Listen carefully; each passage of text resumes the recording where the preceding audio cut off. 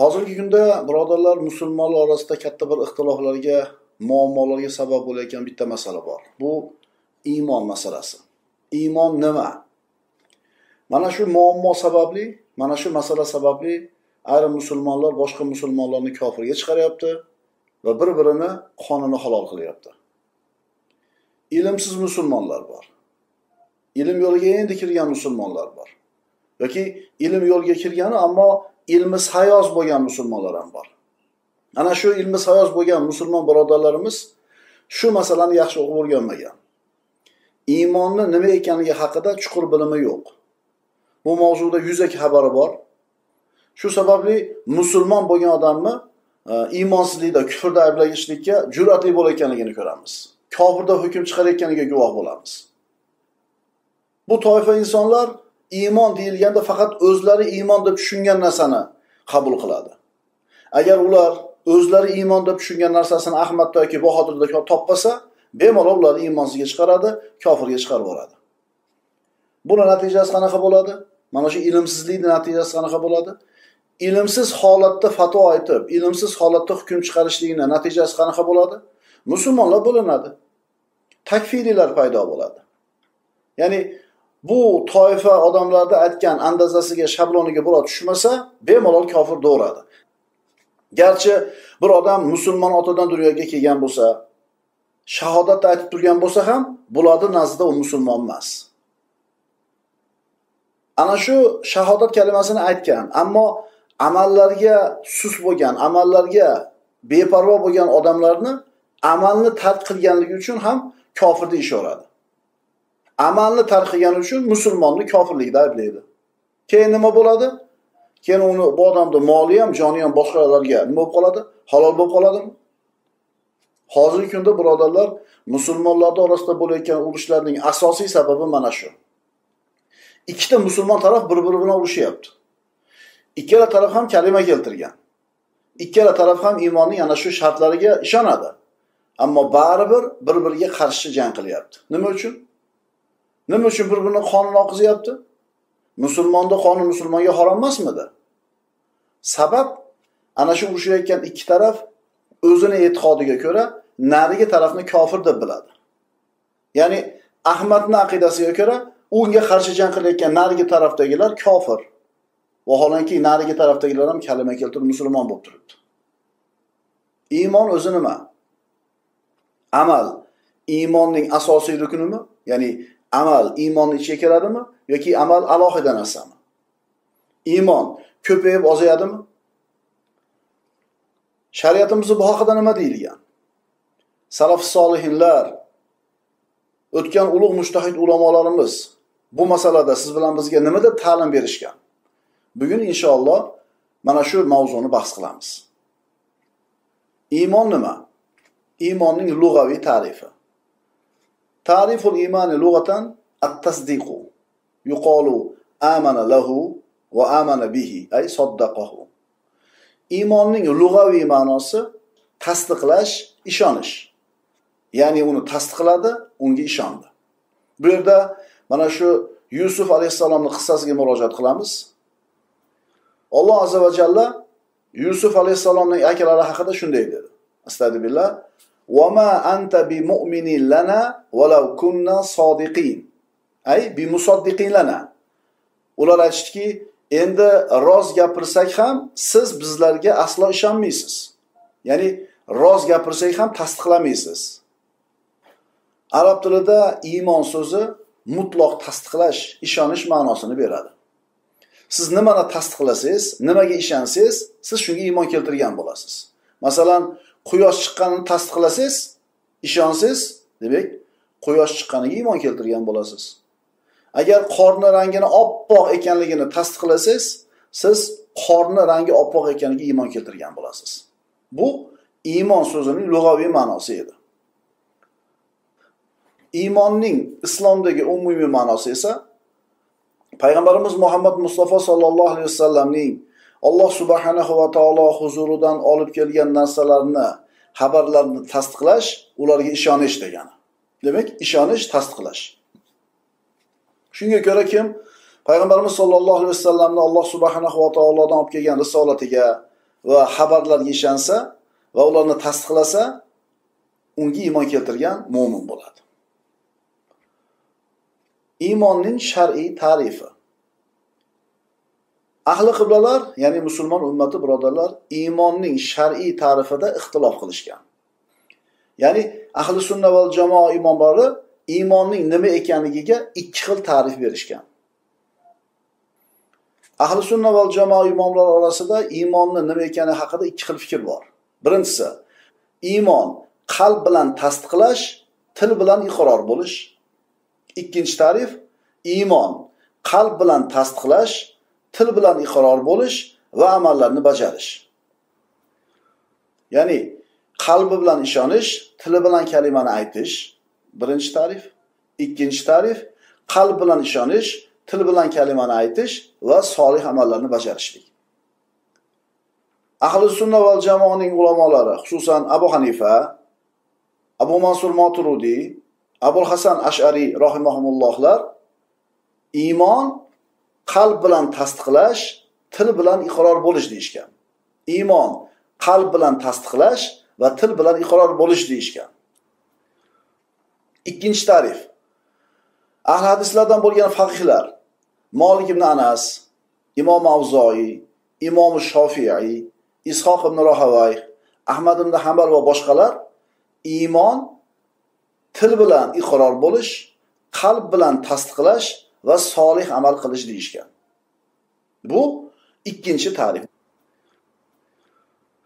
Demak oldimizda ikkita ta'rif turibdi birodarlar.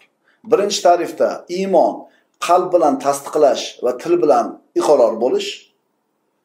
Ikkinchi ta'rifda qalb bilan tasdiqlash til bilan iqror bo'lish va amallarni bajarish. Keling endi mana shu ikkala ta'rifni dalillarini ko'rib chiqamiz birodarlar.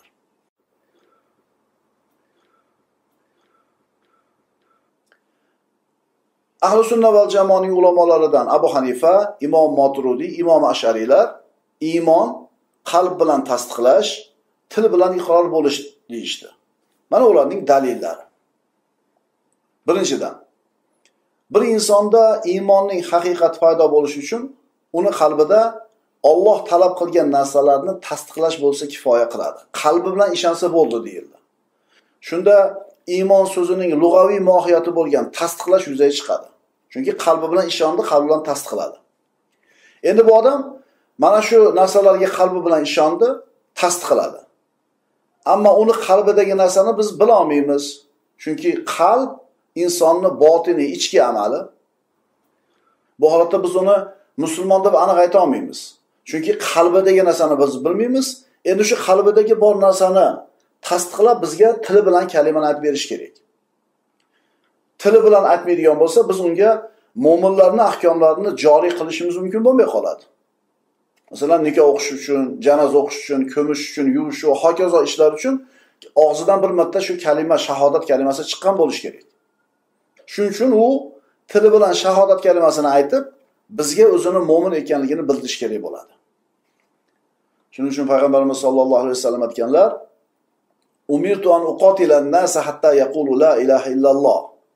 فإذا قالوها qaluha asamu minni وأموالهم إلا amwalahum illa bihaqqiha va hisabuhum taala insonlar deyaptilar rasululloh ollohdan o'zga iloh yo'q deb aytgunlaricha ular bilan jang qilishga buyurildim. Agar ular buni aytsalar kalimani aytsalar mendan qonlarini mollarini saqlabdi. Islom haqqi bundan mustasno ularni hisob kitobi alloh taologa havola. Muttafaqun alayh bo'lgan hadis. Bu hadisni ma'nosidan ko'rinib turibdiki bir insonni musulmon deb bilishimiz va unga shariy hukmlarni joriy qilishimiz uchun u shahodat kalimasini aytib iqror bo'lishi lozim bo'ladi. Tili bilan kalimani aytishligi kerak. Demak iymonni ikkita rukni bo'ldi.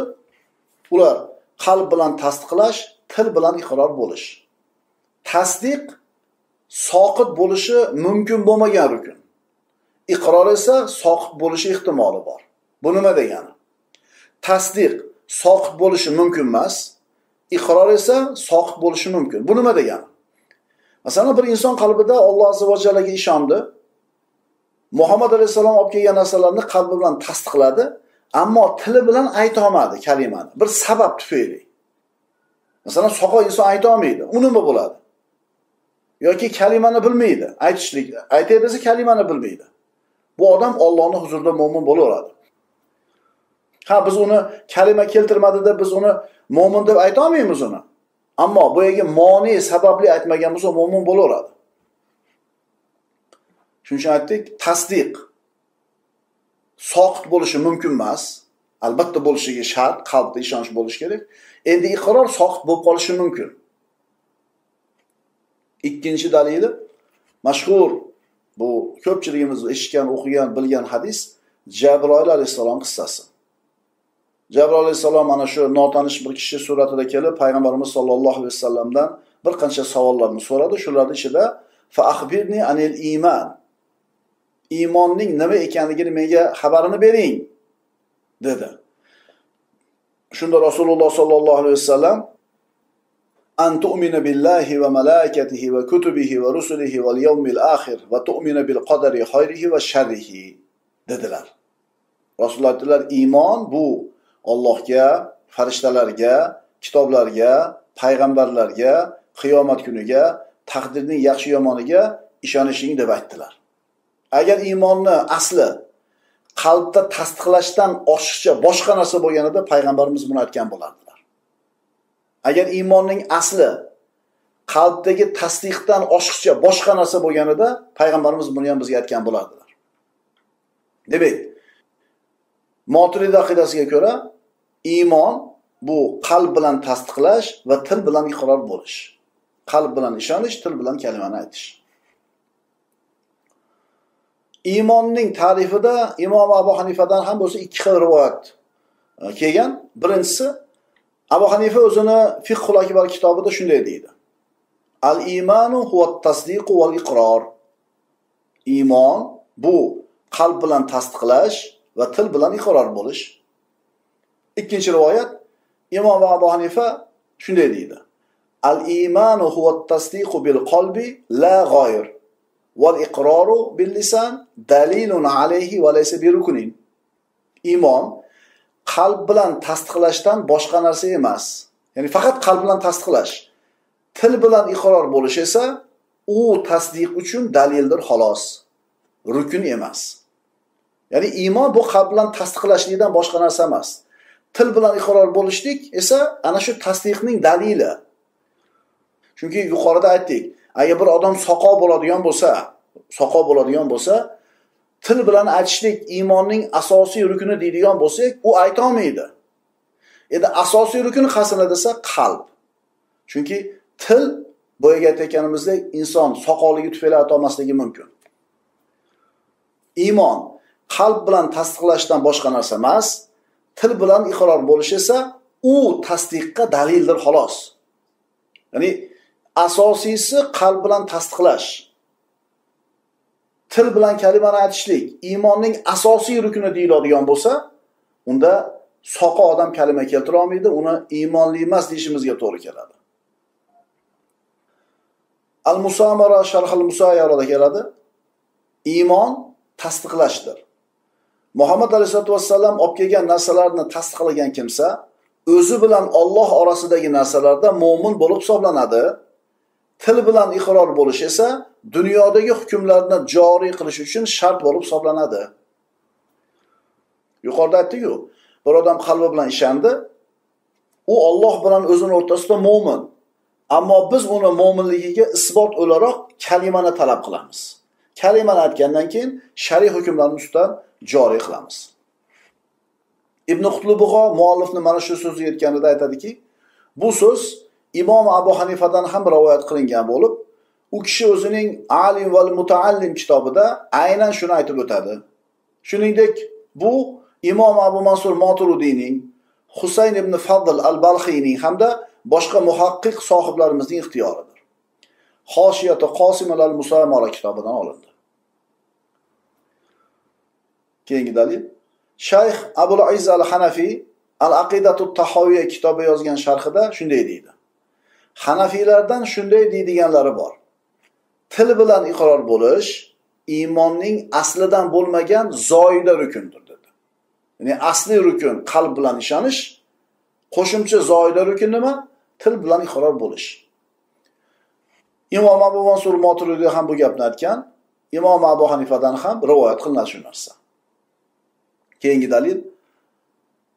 Shayx ibnul humom fathul qodir kitobida shunday deydi وهو المنقول عن أبي حنيفة رضي الله عنه الإيمان هو التصديق والإقرار شرط إجراء الأحكام ibn humom fathul qodirda aytadi abu hanifadan naql qilingan narsa ham shu iymon tasdiqlashdir til bilan iqror bo'lish esa hukmlarni ijro bo'lishligi shartidir mana biz hozir iymonning birinchi ta'rifini ko'rib chiqdik. Demak iymon qalb bilan tasdiqlash til bilan iqror bo'lish. Bu birinchi ta'rif va bu dalillar.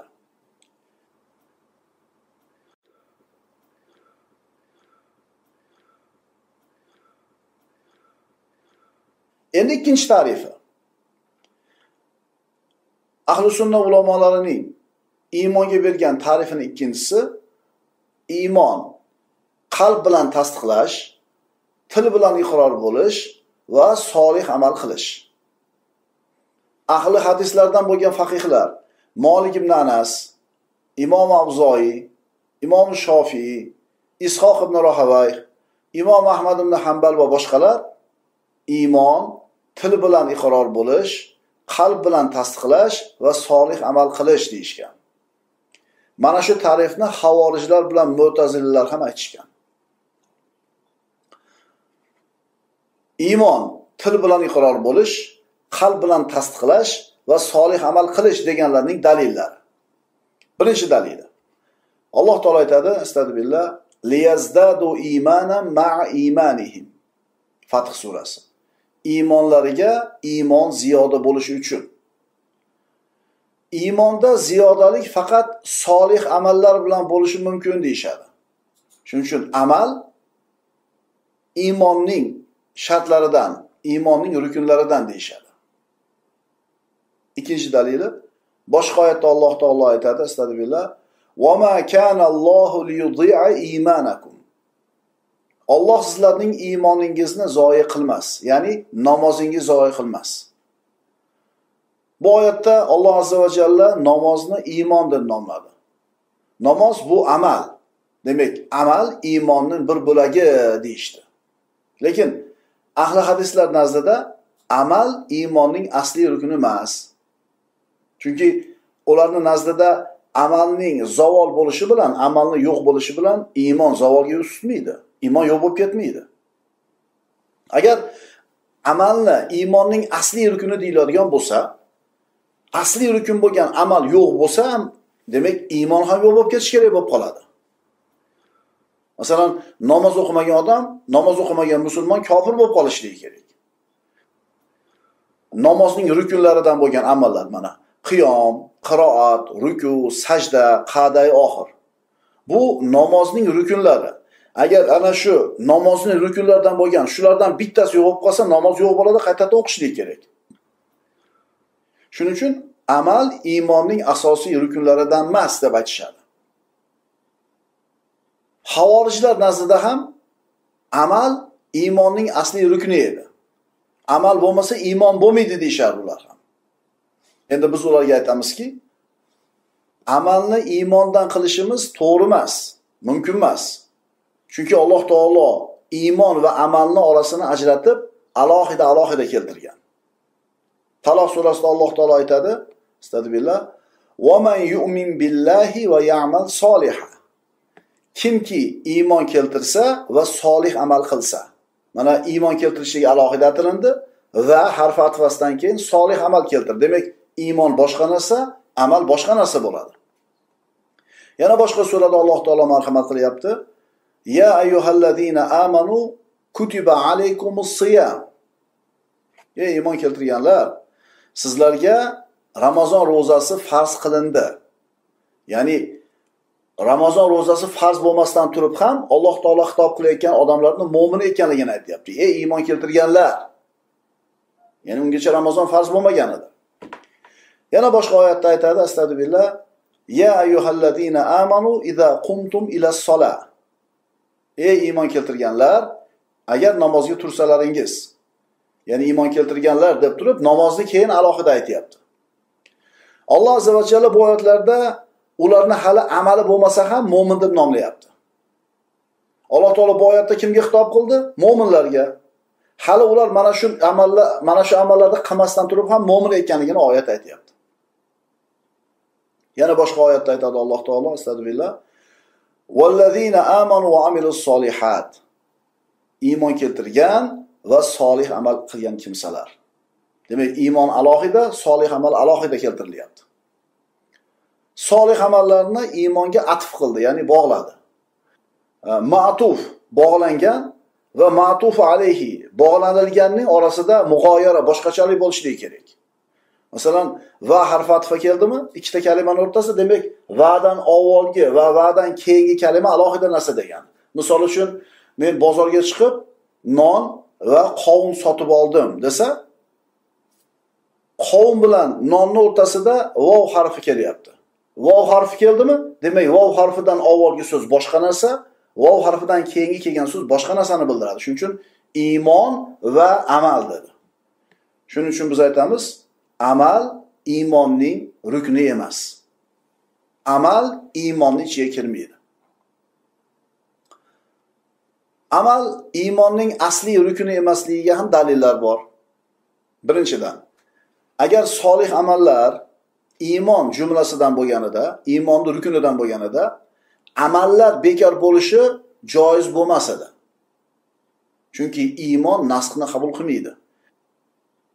Ya'ni bir amalga buyurildi, keyin u amal bekor bo'ldi.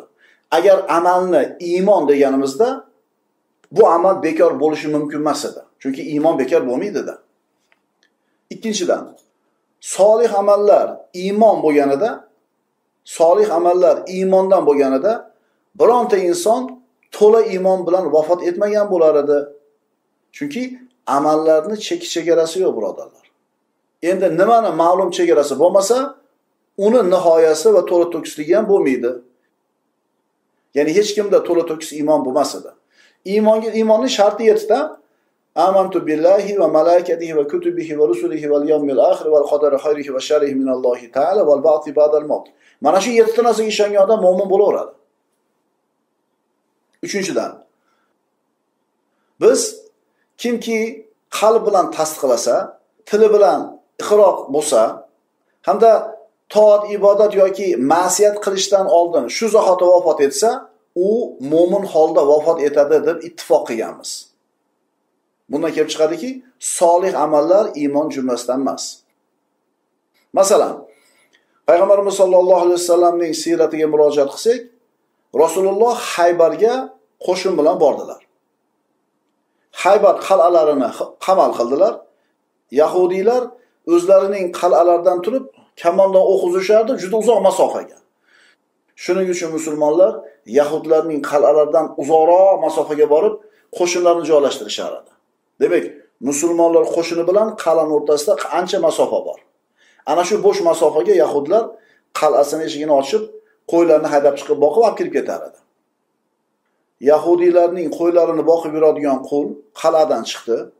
Qo'ylarni haydab Rasulullohning oldiga keldi. shahodat kalimasini aytib musulmon bo'ldi. Hali bir vaqt namoz o'qimasdan avval jang bo'ldida musulmonlarning safida kirib boyaga qoraqul shahid bo'ldi. Payg'ambarimiz sollallohu alayhi vasallam aytdilar, bir vaqt namoz o'qimasdan jannatga kirgan kishini ko'rishni xohlaganlar mana bu qora qulga qarasin dedilar. Ya'ni kishi qalbi bilan ishondi, tili bilan kalimani aytdi, ammo bitta ham savob ish qilishlikka ulgurmadi. Nima bo'ladi unda? Mo'min bo'laveradi. Mana qoraqul ishondi, kalima keltirdi, hali bitta savob ish qilishlikka ulgurmadi. Jannatga kiraverdi.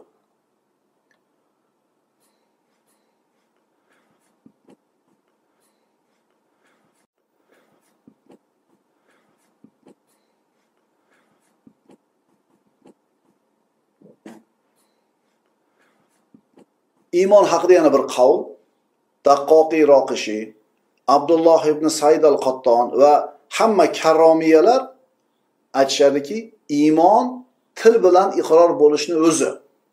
Ya'ni kishi tili bilan kalimani aytib qo'ysa bo'ldi musulmon bo'ladi deyishardi. Va o'zini bu e, iymonga bergan ta'rifiga payg'ambarimizning ushbu hadisini dalil qilishar edi. Rasul aytganlar umirtu an uqatila nasa hatta yaqulu la ilaha illalloh. Insonlar Allohdan boshqa iloh yo'q deb aytmagunlaricha ular bilan urush qilishga buyurildim deganlar. Muttafaqun hadis. Bu hadisdan olgan dalillari ularni. Rasululloh munofiqlar bilan urush qilishni harom qildilar. Nima uchun? Ularda munofiqlarda. Faqat tili bilan iqror bo'lish bor edi. Ular tili bilan aytib qo'ygandi kalimani. Shuning uchun ular bilan urushib bo'lmas edi. Shuning uchun ularni iymoni bor deyishardi. Biz aytamiz bu gapinglar noto'g'ri. Chunki til bilan iqror bo'lishingni o'zi iymon emas. Alloh azza va jalla munofiqlar haqida nima degan? Mana munofiqlar tili bilan kalimani aytgan. lekin qalbida iymon bo'lmagan shuning uchun munofiq bo'lgan ular astag'billah ya ayyuhar rasul لا يحزنك الذين يسارعون في الكفر من الذين قالوا آمنا بأفواههم ولم تؤمن قلوبهم ey muhammad alayhissalom ey payg'ambar og'izlarida iymon keltirdik degan ammo dillari iymon keltirmagan munofiqlardan va yahudiy bo'lgan kufr tomonga qarab chopayotgan kimsalar sizni mahzun qilmasin. Ya'ni ular tili bilan iymon keltirdi deyishgan ammo qalbida iymon bo'lmagan. Alloh taolo ularni munofiq deyapti. Agar til bilan aytib qo'yishlikni o'zi iymon bo'lganida alloh taolo yana aytadi astag'dubillah qolatil a'robu amanna qul lam tu'minu valakin qulu aslamna. Hujurot surasi. Arobiylar iymon keltirdik deydilar. Ey muhammad alayhissalom ularga ayting sizlar iymon keltirganinglar yo'q lekin sizlar bo'yinsundik denglar demak bu oyatda alloh taolo o'zini payg'ambarini sizlar iymon keltirganinglar yo'q deb aytishga buyuryapti. Demak ularda iymon yo'q. Garchi tili bilan aytib qo'ygan bo'lsa ham.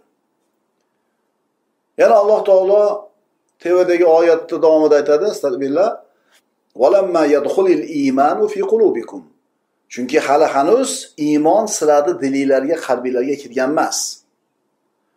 Demak bu oyatdan ma'lum bo'lyaptiki iymonning o'rni dillar va qalblar. Boshqa oyatda aytadi astag'billah illa man ukriha va qalbuhu mutmainnun bil iymon lekin kim qalbi iymon bilan orom olgani holda kufr kalimasini aytishga majbur qilinsa ya'ni bu oyatda ham alloh taolo iymonni o'rni qalb ekanligini aytyapti. Bu nima degani? Inson tili bilan aytsayu ammo qalbida tasdiqi bo'lmasa bu insonda iymon bo'lmasligiga dalil. Mana ammor ibn yosir roziyallohu anhuni e, otasini onasini o'ldirish ko'zini oldida. Abu jahl ammor roziyallohu anhuni qiynaverdi temirni qizdirib jasadiga bosaverdi bosaverdi ana shu og'riqqa chidamasdan azobga chidamasdan shu kufr kalimasini aytdi. Qalbida iymoni bor edi lekin shu kalimani majbur aytdi tili bilan aytdi. Rasulullohni huzuriga kelganida qalbing nima deyapti deganda qalbim iymon bilan orom oladi dedi. Demak iymon bu til bilan aytib qo'yishlik emas qalb bilan ishonishligi kerak. Yuqorida aytib o'tdik karomiyalar iymon til bilan iqror bo'lishni o'zi deyishgan. Ularni nazdida til bilan iqror qilinsa bo'ldi iymon hosil bo'laveradi. Endi ularni bu gaplari biz keltirgan dalillarga mutlaqo zid. Agar ularni bu gapini haqiqat to'g'ri deb olinadigan bo'lsa munofiqlar ham birodarlar haqiqiy mo'min bo'lib qolar edi. Bu esa munofiqlarni kofir ekanligini tasdiqlab nozil bo'lgan qur'on oyatlariga tamomiy teskari.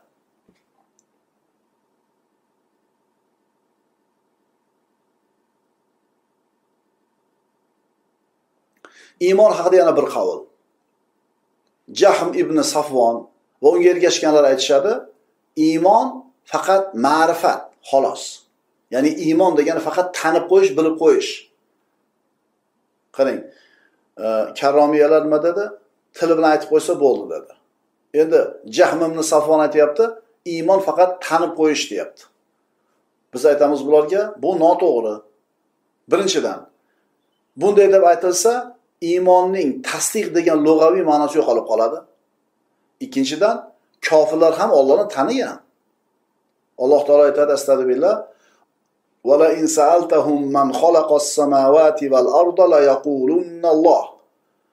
agar ulardan osmonlar va yerni kim yaratgan deb so'rasangiz albatta Alloh derlar. U ahli kitoblar kofirlar. Muhammad alayhissalomda ham o'zini farzandini tanigandek tanishar edi tanishar edi. Lekin tasdiq sodir bo'lmaganligi uchun ular mo'min bo'lisholmadi bundan bilinadiki iymon bu tasdiqlash tanib qo'yishni o'zi emas. Iymon tanib qo'yishni o'zi emas. Iymon bu tasdiqlash.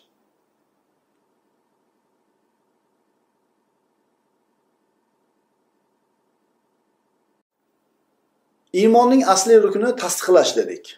Til bilan iqror bo'lish iymonga qo'shimcha rukun hisoblanadi dedik. Imom saduddin taftazoniy bu haqida shunday deydi. Iymon asliga qo'shilgan narsa til bilan ifodalashdir. Chunki til qalbdagi narsani ifodalaydi va qalbiy tasdiqqa dalolat qiladi. Ammo til bilan ifodalash asliy rukunga kirmaydi. Chunki tasdiqni o'rni qalb. Shuning uchun ham uzrli paytlarda til bilan ifodalash soqit bo'lib turadi. Yuqorida aytdik masalan soqol kishi tili bilan aytolmaydi uni kofir demaymiz. Yoki majburlangan odam kufr kalimasiga qalbida iymoni turib majbur kufr kalimasini aytgan bo'lsa e, ammor ibn yosir qissasiga o'xshagan bu holatda bu ikkala odamdan iymon hukmi olib tashlanmaydi. Til bilan iqror bo'lish iymonning qo'shimcha rukni ekanligiga imomi salaxsiy faxrul islom pazdaviy va boshqa ko'plab faqihlardan rivoyatlar naql qilingan. Mana shu qarash najmiddin nasafiy suyangan qarash hisoblanadi. U zot aqoida nasafiya kitobida quyidagilarni yozadi. Iymon nabiy sollallohu alayhi vasallamning olloh huzuridan olib kelgan narsalarni rost deb bilish va uni til bilan ifodalashdir. Mana birodarlar iymon haqida bir qancha ta'riflarni o'qidik. Ahli sunna val jamoa ulamolari iymon deganda ikki xil ta'rifni siz bilan bizga aytishdi. Birinchi ta'rif iymon qalb bilan tasdiqlash va til bilan iqror bo'lish. Ikkinchi ta'rif qalb bilan tasdiqlash til bilan iqror bo'lish va amallarni bajarish. Iymonga berilgan ikkala ta'rif o'rtasidagi ixtilof bu lafziy ixtilof xolos. Iymonni qalb bilan tasdiqlash til bilan iqror bo'lish deganlar iymon deganda shu narsa tushuniladi dedi. Endi ikkinchi toifa nima dedi? Iymon qalb bilan tasdiqlash til bilan aytish va amalni qilishlik deganda komil iymonni nazarda tutishgan. Abu hanifa iymon bu qalb bilan ishonish va til bilan tasdiqlash dedi. Qolgan imomlar bo'lsa qalb bilan ishonish til bilan tasdiqlash va solih amallarni bajarish deyishdi. Imomlar tarafidan iymonga ikki xil ta'rif berildi. Biz bu o'rinda qaysinisini ta'rifi to'g'ri qaysinisi noto'g'ri deb savol berib biz bunga hukm chiqarishga shoshilmaymiz. Ikkala ta'rif ham to'g'ri. Bu o'rindagi ixtilof faqat lafziy ixtilof. Bir taraf iymon bor bo'lish uchun qalb bilan til kifoya dedi. Amal iymonni bir qismi emas dedi. Ikkinchi taraf esa komil iymon bo'lish uchun amal iymonning bir qismi dedi. Qaytarib aytamiz. Bir taraf iymon bor bo'lishi uchun qalb bilan til kifoya qiladi. Ikkinchi taraf komil iymon bo'lishi uchun amal iymonning bir qismi dedi. Demak iymon va komil iymon bu yerdagi lafzda bor ixtilof faqat. Abu hanifa amal iymon ichiga kirmaydi balki uni to'ldiradi va komil qiladi dedi. Abu hanifa usmon al battiyga yuborgan maktubida aytadiki ha men amal iymonning sharti rukni emas deyman dedi. Qolgan imomlar ham amal iymonning aslidan emas balki amal iymonni mukammal bo'lishini ko'rinishi deyishgan. Ikkala taraf ham bu masalada bir xil fikrda aytyapti faqat ixtilof nimada? Lafzda xolos. Endi savol tug'iladi. Modomiki o'rtadagi xilof lafziy ekan nima uchun bir taraf ikkinchi tarafni gapini qabul qilib qo'ymadi? Boshqa imomlar amal iymonning bir qismi deyayotganida komil iymonni nazarda tutishayotganlargina abu hanifa bilar edi. Nima uchun abu hanifa? Mayli ular aytgandek aytib qo'yaveray ish bitadi deb qo'ymadi. Ha abu hanifa ham qolgan imomlar ham asli bir narsani aytishyapti. Nima uchun abu hanifa ularni so'ziga xo'p deb qo'ymadi? Sabab sabab abu hanifa ummaviylar davrini oxirida abbosiylar davrining avvalida yashagan. Bu vaqtda musulmonlarni orasida havorijlarni ishi ko'zga ko'rinib qolgan edi. Havorijlarni qo'lida quvvati bor. Ularni jamiyatga ta'siri qattiq. Abu hanifani xavotiri mana shundan edi. Havorijlarni ishi odamlarni amali bo'lmasa ularni kofir deyish ustiga qurilgan edi. Ularni tutgan yo'li takfir ustiga qurilgan edi. Ularni yo'li mana shu edi. Amali yo'q musulmonni ular kofir deyishgan. Ular ali roziyallohu anhuni muoviya roziyallohu anhularni tahkim masalasida kufrda ayblashgan. Mana tarix darslarida eshitganmiz. Inil hukmu illa lillah deb xalifa saylashlik odamlarni ishi emas ollohni haqqi deyishgan edi. Ularni aqidasi takfir ustiga qurilgan edi. Keyinchalik har qanday gunoh kabira qilgan musulmonni kofirlikda ayblashaverdi. Agar birodarlar bu aqida bu ideologiya bizni jamiyatimizga kirib kelsa nima bo'ladi bilasizlarmi? Musulmonlar bir birini kofirlikda ayblashni boshlaydi. Bugun bo'lmasa ertaga. Gunoh kabira qilib qo'ydimi yoki birorta bir amalni tark qildimi? Musulmon emas deb bir birini kofirlashni boshlaydi. Juda xatarli masala bu. Masalan hammamiz musulmonmiz alhamdulillah. Masjidga kirib namoz o'qiymiz bir birimizni taniymiz hammamiz insonmiz birodarlar. Xatoga kirib qolishimiz bor. Agar bu havorijlarni aqidasi bizni oramizda bo'lsa nima bo'ladi? Bir birimizni kufrda ayblaymiz. Namoz o'qimagan odamni kofir deydi. Ro'za tutmagan odamni kofir deydi. Shuning uchun ana shu havorijlarni tarixini qarasangiz ular doim bo'linib kelishgan. Kimdir ro'za tutmaydi kimdir namoz o'qimaydi yana kimdir boshqa bir gunohga kirib qoladi. Agar amalni iymonning bir qismi desak ana shu amalni tark qilgan kishi iymonsiz bo'lib qolishi kerak. Albatta buni orqasida katta katta muammolar keladi. Bo'linish davom etib boraveradi shuning uchun abu hanifa amalni iymonni ichiga kirmaydi degan. Ya'ni amal qilmagan odam ham qalbi bilan ishonib tili bilan aytgan bo'lsa musulmon bo'ladi iymonda turadi degan. Havorijlar esa amali yo'qdi iymoni yo'q deyishgan. Havorijlarni yo'li hozirgacha shunaqa davom etib keladi birodarlar. Abu hanifani zamonida mana shu muammo bor edi. Havorijlar muammosi. Shuning uchun bizni imomimiz amal iymonning rukni emas degan. Abu hanifaga boshqa imomlar iymon komil bo'lishi uchun amal kerak deyilsachi? deyishdi. Iymon komil bo'lishi uchun amal kerak deb qo'ysangiz bo'lmaydimi? Abu hanifa bunga ham ko'nmadi. Sabab avom xalq bunaqa tafsilotlarga e'tibor bermaydi. Gapni boshini eshitadi tamom. Shuning uchun imomimiz iymon qalb bilan ishonish va til bilan tasdiqlash degan ta'rifida mahkam turgan. Endi imom shofiy imom ahmadga o'xshagan imomlar abu hanifadan keyin yashashgan. Ularni davrida boshqa muammo paydo bo'ldi. Murjiyalar. Qaranglarda havorijlar murjiyalar bunaqa oqimlar bunaqa firqalar doim ahli sunnaga hujum qilib kelgan doim ahli sunna bularni oldida sobit turgan va g'olib bo'lib kelgan. Bu imomlar davriga kelib havorijlar zaiflashgan ammo murjiyalar kuchga kirgan. Endi murjiyalar kimlar?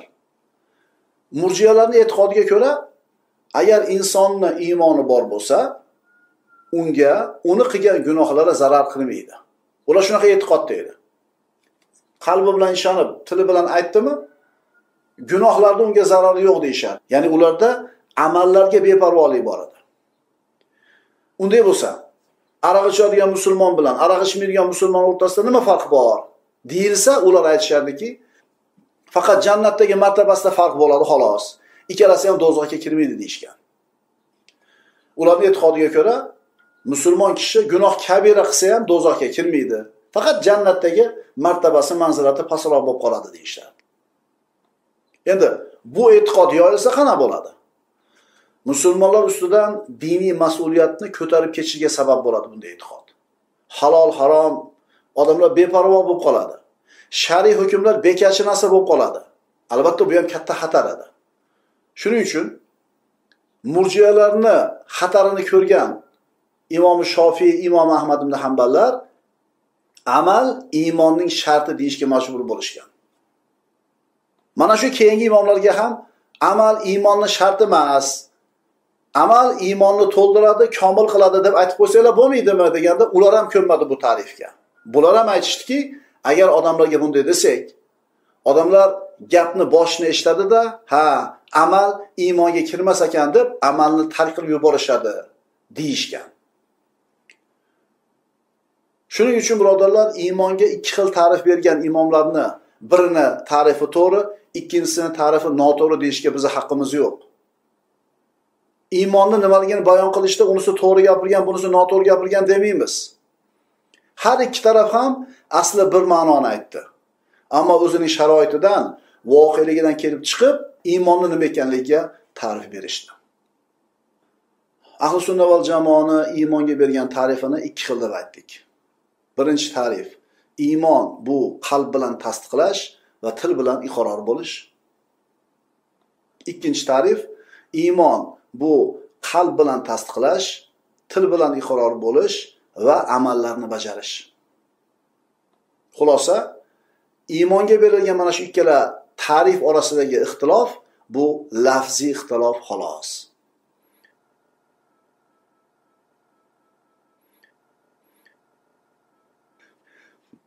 Mana birodarlar allohni fazli marhamati bilan iymon haqida bahs qildik.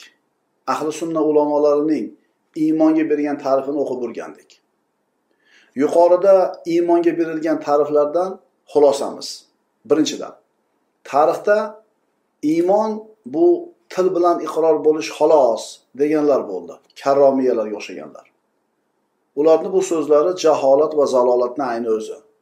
Chunki ularni iymonga bergan ta'rifiga ko'ra bir iymonli musulmon bilan munofiqni orasida farqi yo'q edi. Tili bilan aytib qo'ysa bo'ldi deyishdi. Bu noto'g'ri edi.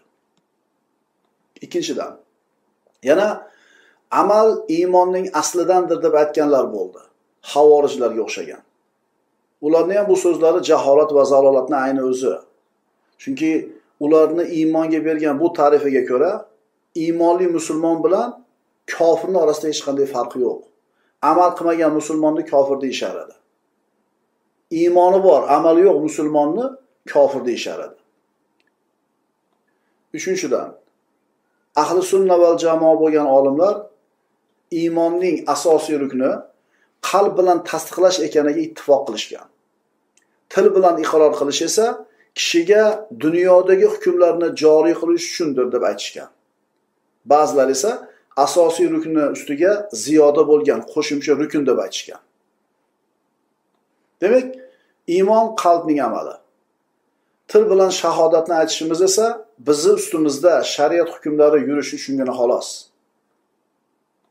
Yoki ba'zida soqit bo'ladigan ortiqcha rukun a'zolarimiz bilan amal qilishimiz esa iymonimizni komil bo'lishining sharti.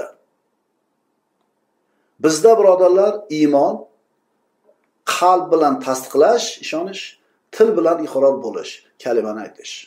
Musulmonlarni ommasi birodarlar azaldan eskidan o'zlarini din peshvolarini ulamolarini solih insonlarni hurmat qilib kelishgan. Bu o'zi dinimizni talabi birodarlar. Chunki ana shu solih insonlar olimlar taqvoli kishilar alloh taoloning valiylari alloh taoloning do'sti deb bilishadi. Hayotlik chog'ida mana shunday odamlarni duosini olib qolishlikka doim haris bo'lishadi. Ular Allohga yaqin bandalar. Inshaalloh ularning duosi ijobat degan e'tiqod musulmonlarning ichida bir avloddan ikkinchi avlodga o'tib kelgan. Mana endi shu solih insonlarni tirikligida duosini olishlik kerakligi haqida hech kim ixtilof qilmaydi. Endi ana shu odamlar o'tgandan keyin ularning qabrlarini oldida duo qilishlik. Parvardigor mana shu solih bandangni hurmati seni mana shu do'stingni haq hurmati sendan falon falon narsani so'rayman desa bo'ladimi? Yo'qmi? Ya'ni Allohning do'stlari bo'lgan payg'ambarlar nabiylar siddiqlar solih insonlar mana shu insonlar o'tib ketganlaridan keyin ularni haqqi hurmati bilan alloh taologa duo qilsa bo'ladimi? Vosita qilsa bo'ladimi? Vasila qilsa bo'ladimi? Mana shu haqida bahs qilamiz. Tavassul o'zi nima va uni qanday turlari bor? Tavassulning ta'rifi. Avval tavassulni nimaligini tushunib olaylik. Tavassul bu Alloh taoloning sifatlari solih amallar tirik yoki vafot etgan ulug' insonlarni vosita qilib Allohdan hojatini so'rashlik kimdan so'rashlik o'likdan so'rash emas o'likdan so'rashlikni shirk ekanligini biz ham aytamiz Allohning ism sifatlari o'rtaga qo'yilar ekan. Qilgan solih amallar o'rtaga qo'yilar ekan. Solih odamlarning duolari qo'yilar ekan. Solih odamlarning haq hurmati o'rtaga qo'yilib, kimdan so'ralar ekan? Endi kimdir umuman tavassulni, vasilani mumkin emas deyotgan bo'lsa, bu odam dori ichmasligi kerak. Dori sizga shifo bermaydi. Dori sabab, shifoni Alloh beradi. Bu vasila, sabab. tushunarlimi Ariqdan ko'prik kerak o'tgani. Ko'prik ham nima? Demak, maqsadingizga yetib olishlik uchun mana shu o'rtada ishlatilayotgan narsa vasila deyiladi. Demak, tavassul Alloh taoloning ism sifatlari yoki solih amallar yoki tirik yoki vafot etgan ulug' insonlarni vosita qilib Allohdan hojatni so'rashlik nima ekan? Jamoatdan bitta duo bering. Nima bu vasila bo'lmay? O'zing qildi primoy. Yo'q, domla o'sha jamoat ichida bir solih odamlar bor, duosi ijobat odamlar bor, avliyolar bor. O'zi bilmaydi avliyo valiyligini Haqimizga duo qilib qo'ying domla deydi. Har doim vasila qilasizlar. Demak, musulmon ummatining eng xayrli vakillari bo'lgan sahobalar, tobiinlar diqqat qilinglar. So'ralgan narsani ato qiladigan yolg'iz Allohni o'zi deb e'tiqod qilgan holda tavassul qilib duo qilishlik joiz deyishgan. Tavassul bu duoning ijobatiga bir sababdir deb ijmo qilishgan. Sahobalar, tobein taba tobeinlar duoni Alloh ijobat qiladi degan. Endi ana shu duoning ijobat bo'lishligiga tavassul bir sabab deb qarashgan. O'zi tavassul masalasi 8-asrga kelganda ko'tarilgan muammosi. Ungacha ummat 7 asr to'liq tavassulni mumkin ekanligiga ittifoq qilgan. Ummat bu masalada to hijriy 8-asrga qadar yakdil bo'lgan. 8-asrdan boshlab mana shu masalada ummat orasiga ixtilof tushdi. tavassulni turlari. Birinchisi, Alloh taoloning ism va sifatlarini o'rtaga qo'yib duo qilish.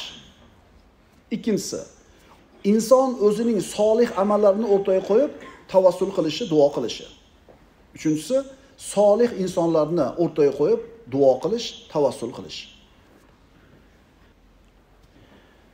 Birinchisi, Alloh taoloning go'zal ism sifatlarini vasila qilib, ya'ni go'zal ismlarni o'rtaga qo'yib duo qilish.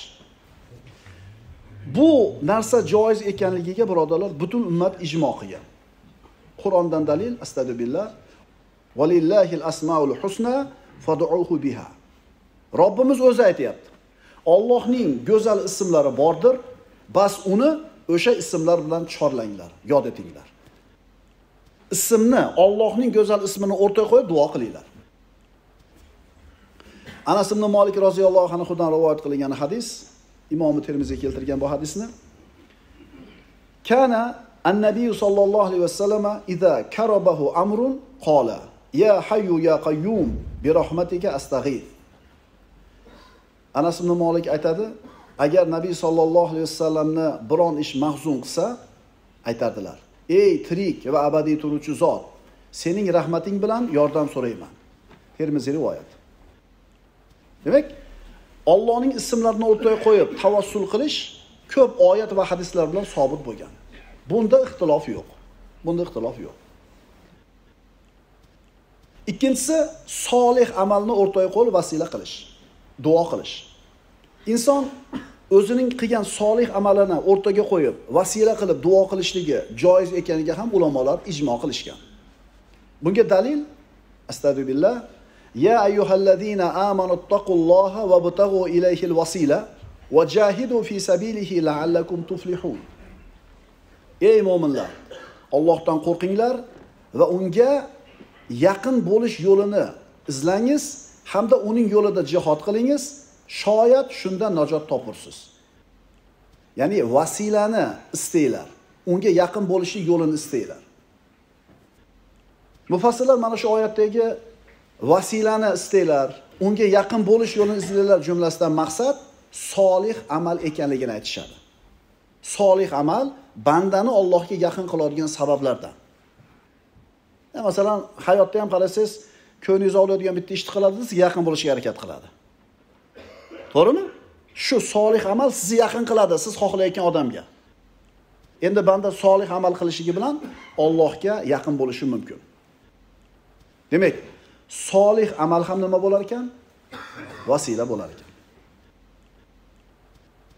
solih amalni vasila qilish mumkinligiga dalil imom buxoriy va muslimdan keltirilgan hadis abdulloh ibn umar roziyallohu anhudan عن عبد الله بن عمر رضي الله عنهما قال سمعت رسول الله صلى الله عليه وسلم يقول انطلق ثلاثة رهط ممن كان قبلكم hatta awa al mabita ila g'orin fadahalu fanhadarat sohratun minal jabal fasaddat alayhim al g'or rasululloh aytadilar sizlardan ilgari o'tgan ummatlardan 3 kishi yo'lda bora turib tunash uchun bir g'orga kirishdi. Shunda tog'dan bir katta harsang tosh katta tosh dumalab tushib g'orni og'zini to'sib qo'ydi. فقالوا إنه لا ينجيكم من هذه الصخرة إلا أن تدعوا الله بصالح أعمالكم shunda boyagi kishilar bir birlariga aytishdi sizlarni bu xarsang toshdan solih amallaringizni vosita qilib Allohga duo qilishingizgina qutqarishi mumkin demak qilgan solih amalinglar bo'lsa qaranglar xolis Alloh uchun qilingan shuni o'rtaga qo'yib Allohdan so'ranglar bu toshni nima qilib bersin jildirib bersin faqala rajulun minhum allohumma Kana li shayxoni kabironi shulardan bittasi aytdiki ey ollohim mening keksa ota onam bor edi. Men har kuni kechqurun sut sog'ib kelib avval ota onamga ichirardim keyin bola chaqamga ichirar edim bir kuni qaysidir ish bilan ushlanib qolib kech kelsam ota onam uxlab qolishibdi. Sutni sog'ib keldi qo'lida ushlab turibdi uxlab qolgan. Ulardan avval bola chaqamga sut berishni xohlamadimda qo'limda ko'za bilan to tong otgunicha ularning uyg'onishlarini kutib turdim. Ular uyg'onishgach sutlarini ichdilar ey ollohim shu ishni sening yuzingni istab qilgan bo'lsam bizni bu holatdan qutqar dedi. Shunda harsang tosh ular chiqib keta olmaydigan darajada biroz surildi. Ota onasi uchun qilgan solih amalni o'rtaga qo'yib vasila qilib duo qilyapti. Tosh biroz jildi. Hadis buxoriy va muslimdan. Payg'ambarimiz sallallohu alayhi vasallam aytadilar vaqola al aharu allohumma kanat li bintu ammin kanat ahabban nasi ilayya fa aradtuha an nafsiha famtana'at. Endi ikkinchi odam. Payg'ambarimiz aytadilar ikkinchilari dedi ey ollohim amakimning bir qizi bor bo'lib u men uchun g'oyatda suyukli edi ya'ni yaxshi ko'radi amakisini qizini. Men uni o'zimga chorlaganimda u ko'nmagan edi. Hatto bir yil o'tgandan keyin muhtojlikdan meni oldimga keldi. Shunda men unga bir yuz yigirma dinor berishimga u esa buning evaziga o'zini menga qo'yib berishiga kelishdik. Hattoki qachon unga yetishga qodir bo'lib turganimda u qiz aytyapti ollohdan qo'rq muhrni nohaq yetishingga senga halol bo'lmaydi. Ya'ni nikohlamasdan turib menga yaqinlik qilishligi nima bo'lmaydi? Halol bo'lmaydi dedi. Men undan o'zimni tortdim va bergan tillalarimni ham qaytarib olmadim. Ey ollohim agar men shuni seni yuzingni istab qilgan bo'lsam bizdan bu holatimizni aratgaysan shunda harsang tosh ular sig'magudek darajada yana biroz ochildi. Ikkinchi odam ham Alloh uchun qilgan amalini vosita qilyapti. Vasila qilyapti. Va qola salisu Allohumma inni stajartu fa ataytuhum ujurahum g'ayra rajulin wahidi. sayt. Men ishchilar yollab ishlatib ularning haqlarini berar edim. ulardan bittasi o'zini haqqini olmasdan ketib qoldi men uning ish haqini aylantirdim juda ham ko'p mol dunyo vujudga keldi bir qancha vaqt o'tgach u odam kelib ey ollohni bandasi meni haqqimni ber dedi men unga mana bu ko'rib turganing tuya sigir qo'y va qullar seni ish haqing hisobidan dedim. U odam ey ollohni bandasi meni ustimdan kulma dedi. Chunki qandaydir bir kunlik ikki kunlik ishni xizmat haqqi edi. Va arzimagan pulni olgani kelgan edi. Lekin bu pul nima bo'ldi? Aylanib ko'paydi. Meni masxara qilma ustimdan kulma dedi. Men seni ustingdan kulayotganim yo'q. Bular seni ish haqqing dedim. Shunda u haligilarni hammasini haydab olib ketdi. Hech narsani qoldirmadi. Ey ollohim deyapti uchinchi odam. Agar men shu ishni seni yuzingni istab qilgan bo'lsam bizdan bu holatimizni aritgaysan shunda hasan tosh surildi va undan chiqib ketdilar. Buxoriy va muslimdan. Tavassulni birinchi ko'rinishi Allohning ism va sifatlarini o'rtaga qo'yib duo qilish. Ikkinchisi o'zining solih amalini o'rtaga qo'yib turib duo qilish tavassul qilish. Shuning uchun bir odam ota onasiga birul volidayni juda chiroyli suratda qilib turib parvardigor men otamga qilgan mana shu yaxshiligim tufayli bolalarimdan ham mana shu yaxshilikni qaytargin deb duo qilishligi mumkin bo'lar ekan. Uchinchisi solih insonlarni o'rtaga qo'yib tavassul qilish duo qilish. Solih insonlarni o'rtaga qo'yib duo qilish tavassul qilish joiz ekanligiga ulamolar ittifoq qilishgan. Olim odam solih odam yoshi ulug' inson ulug' bo'lgan odam ko'pchilikni duosini olgan odam hayotda baraka topgan odam. Bularni borib duosini olishlik kerakligi bizni haqqimizga duo qilib qo'ying deyishligi hech kim inkor qilmaydi. To'g'rimi? Duosini olib qolaylik deydi g'animat bo'lib qoldi deydi tovar yo'q qoldi deydi. Chunki yana hamma o'zini ota onasini duosini olishga ham harakat qiladi chunki shu duo bilan baraka topishligini biladi. Agar duosini olsa. Bu narsa ham birodarlar Qur'on oyatlari bilan, payg'ambarimizning sunnatlari bilan sobit bo'lgan. Alloh taolo Niso surasida aytadiki, astagfirullah. "Walau annahum iz anfusahum ja'uka fastaghfirulloha fastaghfara lahumur rasulu lavajadulloha tawwabar rahima." Agar ular ya'ni gunoh qilib qo'ygan odamlar jonlariga jabr qilgan paytlarida darhol sizning oldingizga kelib Allohdan mag'firat so'raganlarida va payg'ambar ham ular uchun mag'firat so'raganida edi Allohning tavbalarini qabul qiluvchi mehribon ekanligini topgan bo'lardilar. Bu oyatdan nima xulosa olamiz? Agar mu'minlar gunoh qilib qo'ysa, o'ziga javr qilib gunoh qilib qo'ysa, payg'ambar alayhisolamning oldiga kelib istig'for ayting desa, payg'ambarimiz aytsa, Alloh ularning gunohini kechiruvchi ekanligini tushunamiz. Mana endi tavassulga dalil bo'ladigan hadislardan. An Anas ibn Malik radhiyallohu anhu anna rajulan dakhala al-masjida yawm al-jum'ati min babin kana nahwa dar al-qada va Rasululloh sollallohu alayhi vasallam qoimun yaxtubu. Payg'ambarimiz sollallohu alayhi vasallamdan mana Anas ibn molik roziyallohu anhu aytadiki, bir kishi juma kunida masjidga Dorul Qozo tarafidan kirdi Bu vaqtda payg'ambarimiz sollallohu alayhi vasallam tik turib xutba qilayotgandilar. U kishi turib qiblaga yuzlandida, so'ngra "Yo Rasululloh, mollar halok bo'ldi, yo'llar to'sildi. Alloh bizga yomg'ir yog'dirsin, duo qiling" dedi. Shunda Rasululloh sollallohu alayhi vasallam ikki qo'lini ko'tarib, "Allohim, bizga yomg'ir yog'dir. Allohim, bizga yomg'ir yog'dir. Allohim, bizga yomg'ir yog'dir" deb duo qildilar. Anas roziyallohu anhu aytadi, uni ortidan, ya'ni osmonda qalqon kabi bulut paydo bo'ldi. Osmonning o'rtasiga kelganda u bulut yoyildi.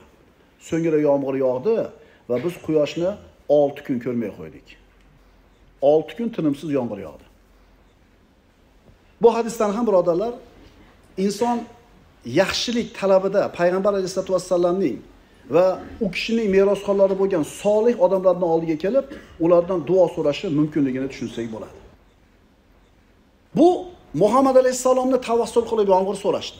Mana endi Rasululloh vafot etganlaridan keyin Rasulullohning amakisini o'rtaga qo'yib duo qilishdi. Bu hadis Buxoriyda.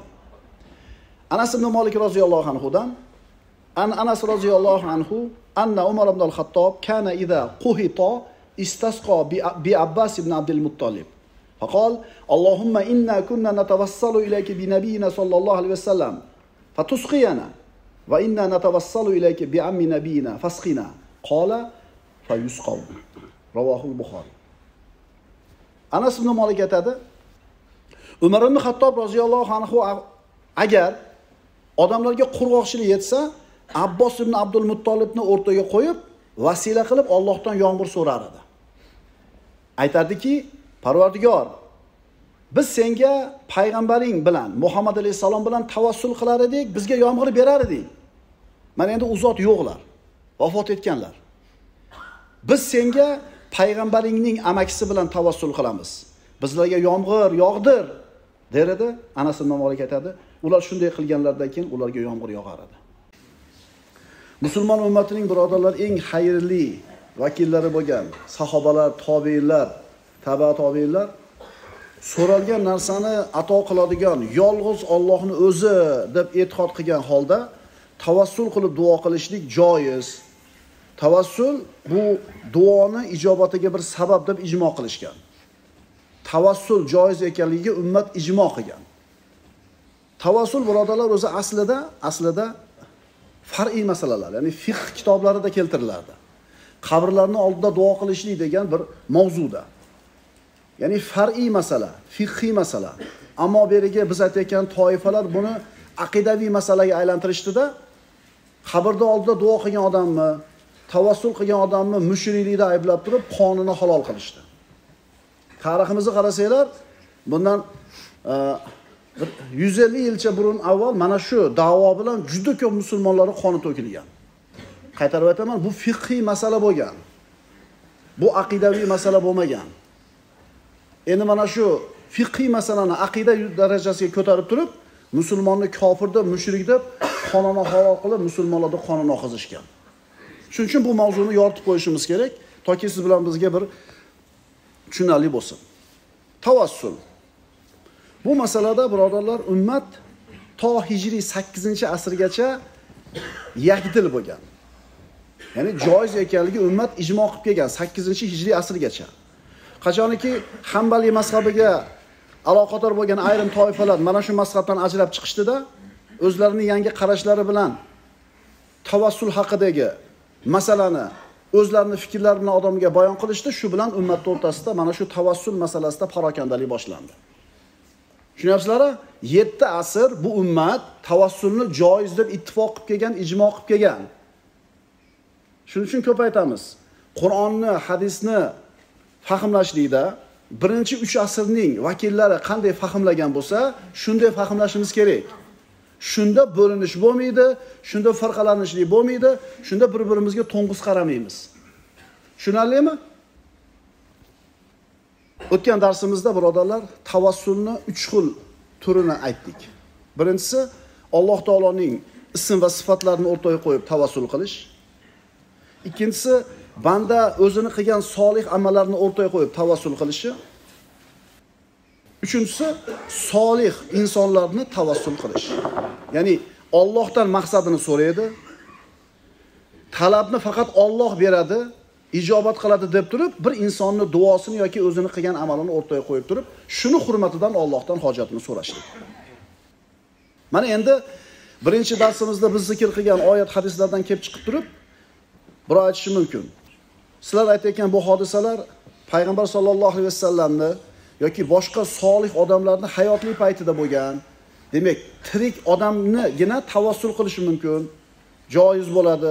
Ammo vafot etgandan keyin barzax hayotiga o'tgandan keyin ular bilan tavassul qilishlik joiz emas deyishi mumkin. Haqiqatdan o'tgan darsimizda biz keltirgan hadislar misollar bari tirik odamlarni tavassul qilishlik haqida edi.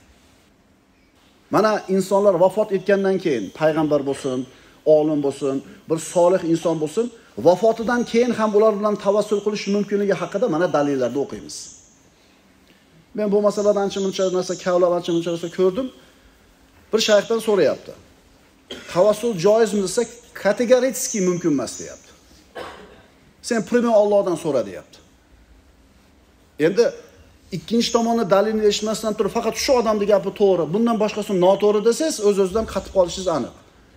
O'tgan darsimizda o'qidik. Buxoriy muslimda keltirgan hadisda g'orga qamalib qolgan uchta odam qilgan amallarni o'rtaga qo'yib duo qildimi? A bu shayx aytyapti kategorически mumkin emas deyapti. Insof bormi yo'qmi? Endi bir doktor birovni davolayotib mayib qilib qo'ydi yurolmaydigan qilib qo'ydi.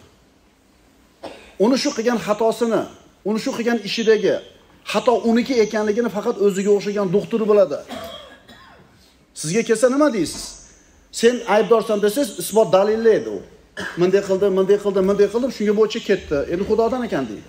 Endi uni qilgan xatosini siz tabib bo'lmaganligi uchun ajrata olmaganingizdek siz ajrata olmaganingizdek mana shu fiqhiy umuman shar'iy masalalarni ham sizlar ajrata olmaysizlar. Dalilingiz bormi dalilingiz bormi degan gap modaga kirib ketuvdi. Dalillarimiz bor ekan birodarlar. Xotirjam bo'linglar. Dalillarimiz bor. Siz bilmasangiz bu yo'q degani emas.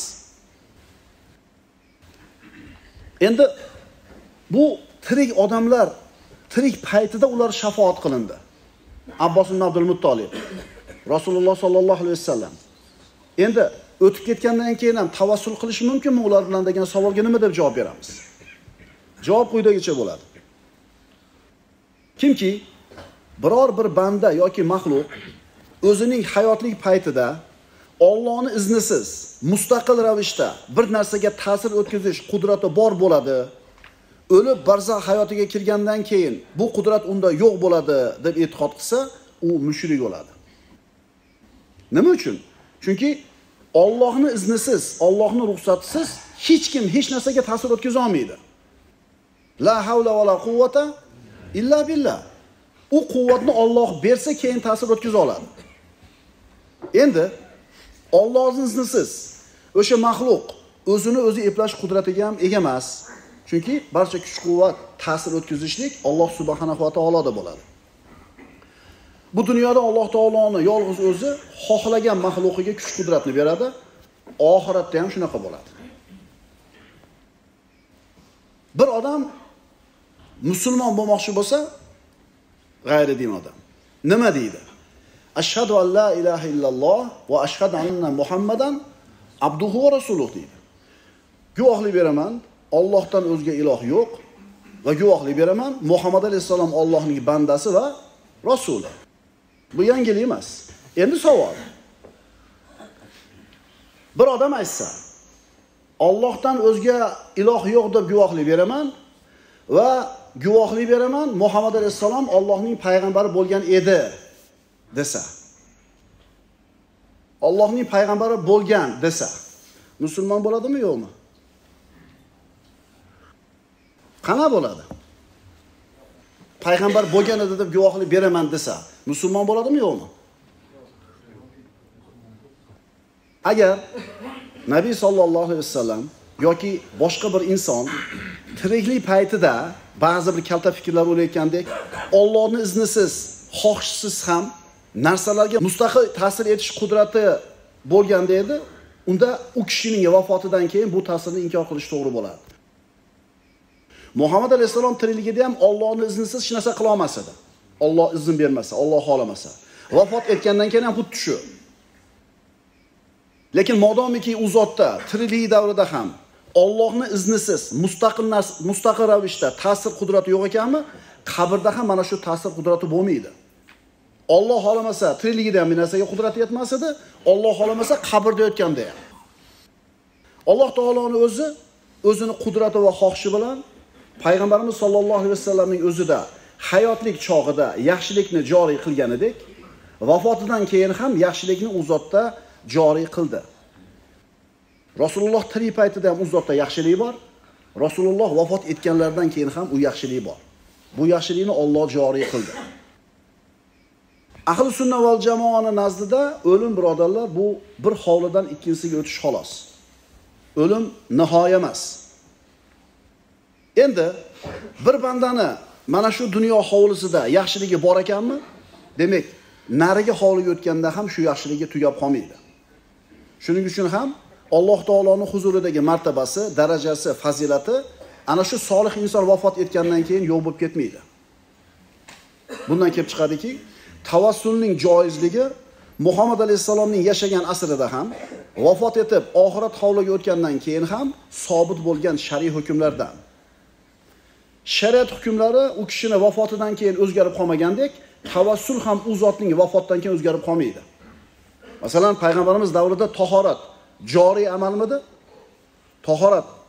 Joriy bo'lgan amalmidi joizmidi joiz edi. Nima? Vafot etgandan keyin tahorat nojoiz bo'lib qoladimi? Shar'iy hukm payg'ambarimiz bor paytda ham ishlagan amal qilinadigan edi. Vafot etgandan keyin ham tahorat amal qilinadi birodarlar. Namoz. Nabiy sollallohu alayhi vasallam zamonlarida joizmidi yo'qmidi joiz edi. Vafot etgandan keyinchi? Joizmi? Xuddi shunga o'xshagandek tavassul rasulullohning tirik davrida joiz bo'lgandek vafot etganlardan keyin ham joizligicha qoladi. Chunki bunaqa amallarda hammasi birodarlar shariatimizda o'zini dalillari bilan sobit bo'lgan. Rasulullohning tirik davrida qanday amal qilingan bo'lsa vafot etgandan keyin ham shunday amal qilinadi. Endi kimdir bu hukmlarni orasini ajratsa birini joiz birisini nojoiz desa bu ana shu odamni ilmsizligi shariatni bilmaganligidan johilligidan. Bunaqa odamlarga hujjat dalil qoyim qilinadi keyin ularni gapiga parvo qilmay qo'yilaveradi. Payg'ambarimiz davrida tavassul joizmidi? Shar'iy hujjat dalili bor amalmidi? Vafot etgandan keyin ham shu amal shar'iyligicha qoladi. Boyagi savolga javob chiqdi rasul muhammad sollallohu alayhi vasallam ollohning payg'ambari edi desa endi payg'ambar emas degan gap chiqib qoladi bundan. Oxirat diyoriga o'tgandan keyin payg'ambar emas degan gap chiqib qoladi. Muhammad alayhissalom dunyoda ollohni payg'ambarimidi oxiratda ham payg'ambarlik maqomida turadi. Tavassul amali dunyoda rasululloh tiriklik paytida joiz amalmidi vafot etgandan keyin ham joiz bo'ladi. Mana endi muhammad alayhissalom va boshqa solih insonlar vafot etganlardan keyin ham ular bilan tavassul qilishlik mumkin ekanligiga mana ba'zi bir dalillarni keltiramiz. Kimda kim? Muhammad sollallohu alayhi vasallamda bor bo'lgan komil sifatlarni ayrimlari u zot vafot etganidan keyin u zotdan ajrab qoladi deb o'ylasa xato qilyapti. Agar shu e'tiqodda bo'lsa bu odam kufrga ketib qolishiga xavfi bor. Aytdiku muhammad alayhissalom ollohning payg'ambari bo'lgan edi degan odam dinga kirmaydi. Bu xuddi vafotidan keyin muhammad alayhissalomdan payg'ambarlik va rasullik sifati ajralib qoladi degan gapga o'xshab qoladi. Olloh saqlasin.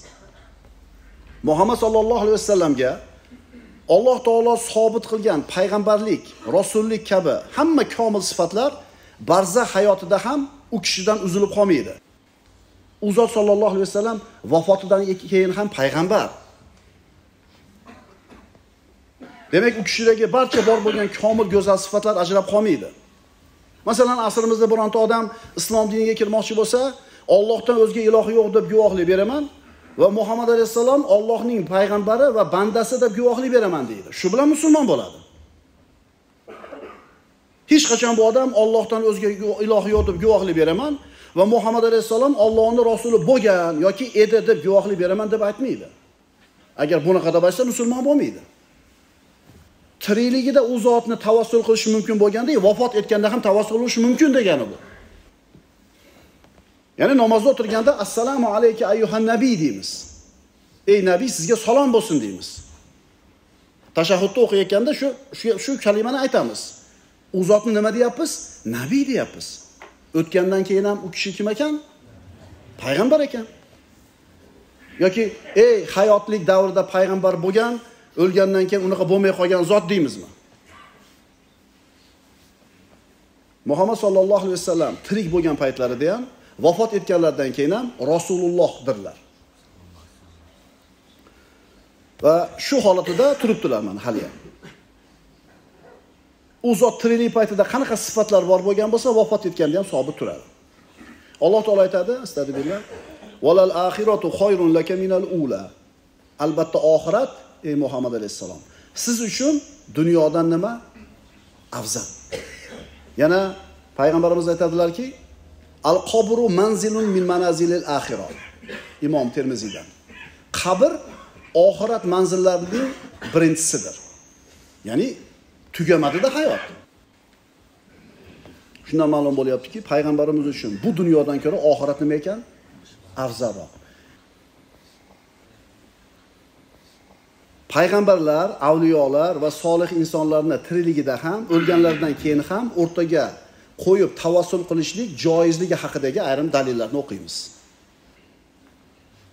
Alloh taolo niso surasida astag'firullah ولو أنهم إذ ظلموا أنفسهم جاءوك فاستغفروا الله واستغفر لهم الرسول لوجدوا الله توابا رحيما deydi agar ular jonlariga jabr qilgan paytlarida darhol sizning oldingizga kelib Allohdan mag'firat so'raganlarida va payg'ambar ham ular uchun mag'firat so'raganida edi Allohning tavbalarini qabul qiluvchi mehribon ekanini topgan bo'lar edilar Garchi bu oyat tog'utlardan hukm so'ragan munofiqlar haqida nozil bo'lgan bo'lsa ham har bir gunoh qilgan va ma'siyatga botgan kishilar haqida umumiy.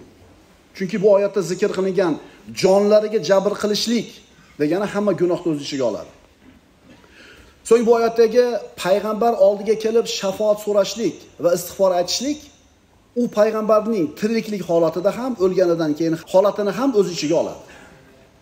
Chunki bu oyatdagi kelish va istig'for aytish fe'llari shart siyoqida ya'ni jonlariga gunoh sababli jabr qilganlarida kelsalar va istig'for aytsalar edi bo'lib kelyapti. Ya'ni shart ko'rinishida. Har qachon siz tirik paytingizda istig'for so'rab kelsa ham siz o'tganingizdan keyin ham sizdan istig'forni Allohdan so'rab bering desa joiz degani bo'ladi. Arab tilida esa bunday holda shart siyoqidan keyin kelgan fe'l umumiylikni ifodalaydi faqat tirikligingizda demayapti. Umuman oldingizga kelib duo qilsa istig'for so'rasa va siz istig'for aytsangiz qabul bo'ladi deyapti. Payg'ambar oldiga u tirik bo'lganda ham vafot etganda ham kelib istig'for aytsa Alloh kechiradi degan ma'no kelib chiqadi. Payg'ambarning sollallohu alayhi vasallam tiriklik paytida u zotdan duo so'rashligi joiz ekanligi hammaga ma'lum. Haqqimga duo qiling yo rasululloh deyishi hammaga ma'lum bunda ixtilof yo'q. Endi muhammad alayhissalom vafot etganidan keyin u zotni haqqini o'rtaga qo'yib tavassul qilish kelsak bu ham qur'oni karim sunnati nabaviy va ijmo bilan dalillangan joiz ishlardan. Kitobdan dalil bor sunnatdan dalil bor ijmodan dalil bor. Aytyapmizu sakkizinchi asrgacha tavassul muammo bo'lmagan. Faqat buni mana shu tavassulni. Keyingi vaqtlarda ba'zi ilmi qosir bo'lgan bid'atchi toifalargina inkor qilishni boshlashdi. Ular bu ishi bilan qur'oni karimga sunnatga va ijmoga qarshi chiqishdi.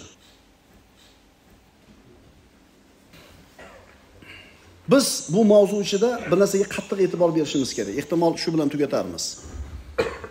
Payg'ambarlar avliyolar va solih insonlarni o'rtaga qo'yib tavassul qilayotganda biz birodarlar hojatni faqat va faqat Alloh subhanahu va taolodan so'raymiz. Ollohni o'ziga yolvoramiz va hojatimizni faqat Alloh ravo qiladi deb e'tiqod qilamiz. Agar kimdir tavassul qilayotganda u o'rtaga qo'ygan odami payg'ambar bo'ladimi avliyomi solih insonmi?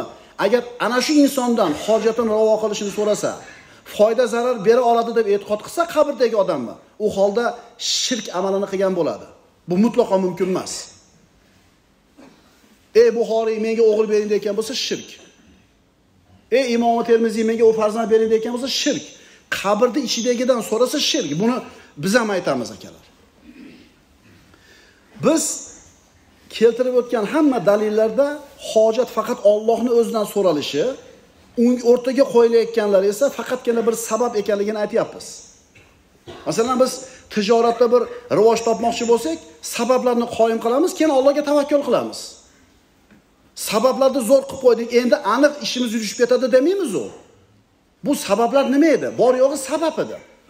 Do'konni yaxshi joydan olasiz ijaraga molni vaqtida olib kelasiz sezoniga yarashasini bozorni o'rganasiz narx navoni loyiq qilib qo'yasizda endi nima deysiz buyog'i Tavakkal. Ha, barakani shunda shu sabab beradi deyapsizmi, Alloh beradi deyapsizmi? Dorini ichib turilma deysiz. Alloh shuni sabab qilgan deysiz. Shifo bergan deysiz. Endi bir ba'zi bir toifalar butun ulamolarga qarshi chiqib, o'lgan kishilarni o'rtaga qo'yib tavassul qilsa bo'lmaydi deyishadi. U payg'ambarmi, avliyomi, solih insonmi farqi yo'q, mumkin emas deyishadi. Hamda mana shu gaplarini oyat bilan quvvatlashadi.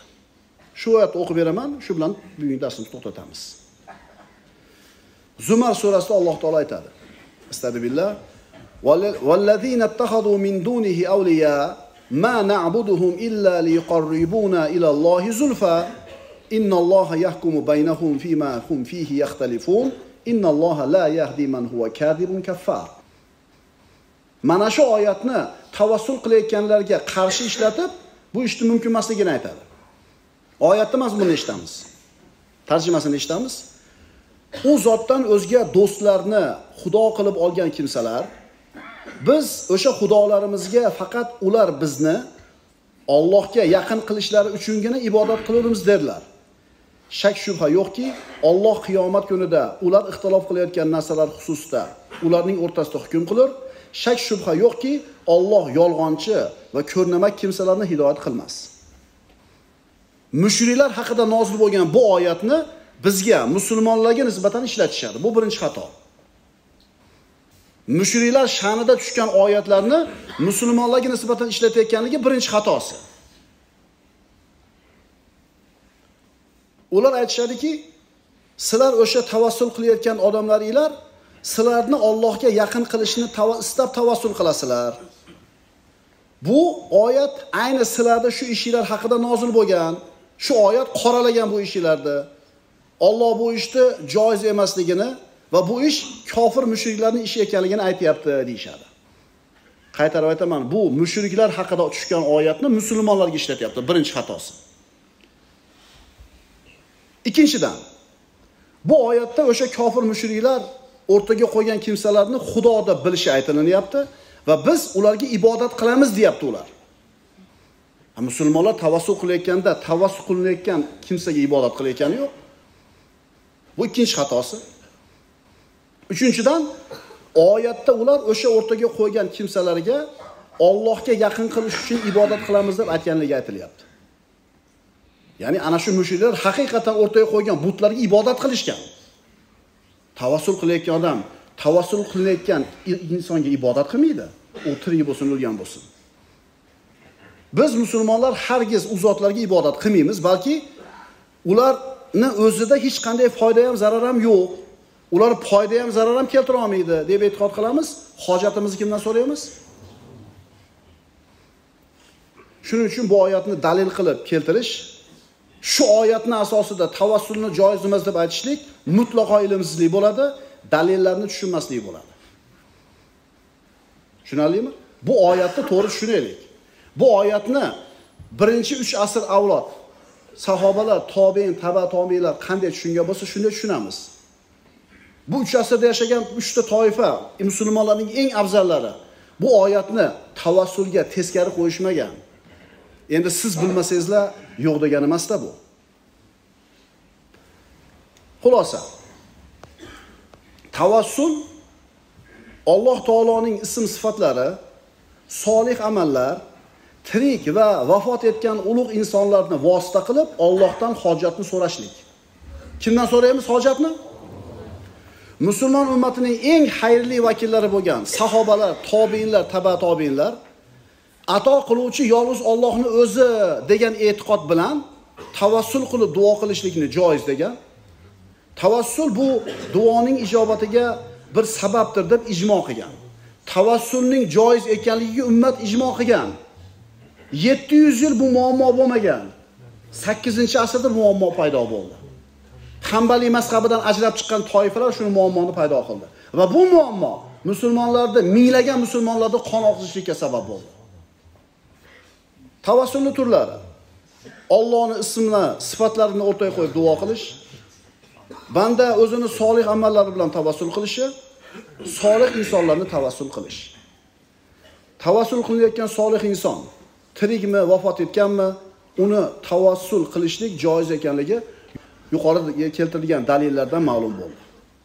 Qabr egasidan bir narsani talab qilib duo qilish shirk ekanida ixtilof yo'q. Ammo qabr oldida duo qilib, Allohdan hojatini so'rash, qabr sohibining Alloh huzuridagi martabasi, hurmatini o'rtaga qo'yib, duo qilish, tavassul qilish joiz ekanligi ma'lum bo'ldi. Tavassul Alloh taoloning sifatlari, solih amallar, tirik va vafot etgan ulug' insonlarni vosita qilib Allohdan hojatni so'rashlik. Allohdan hojatni so'rashlik.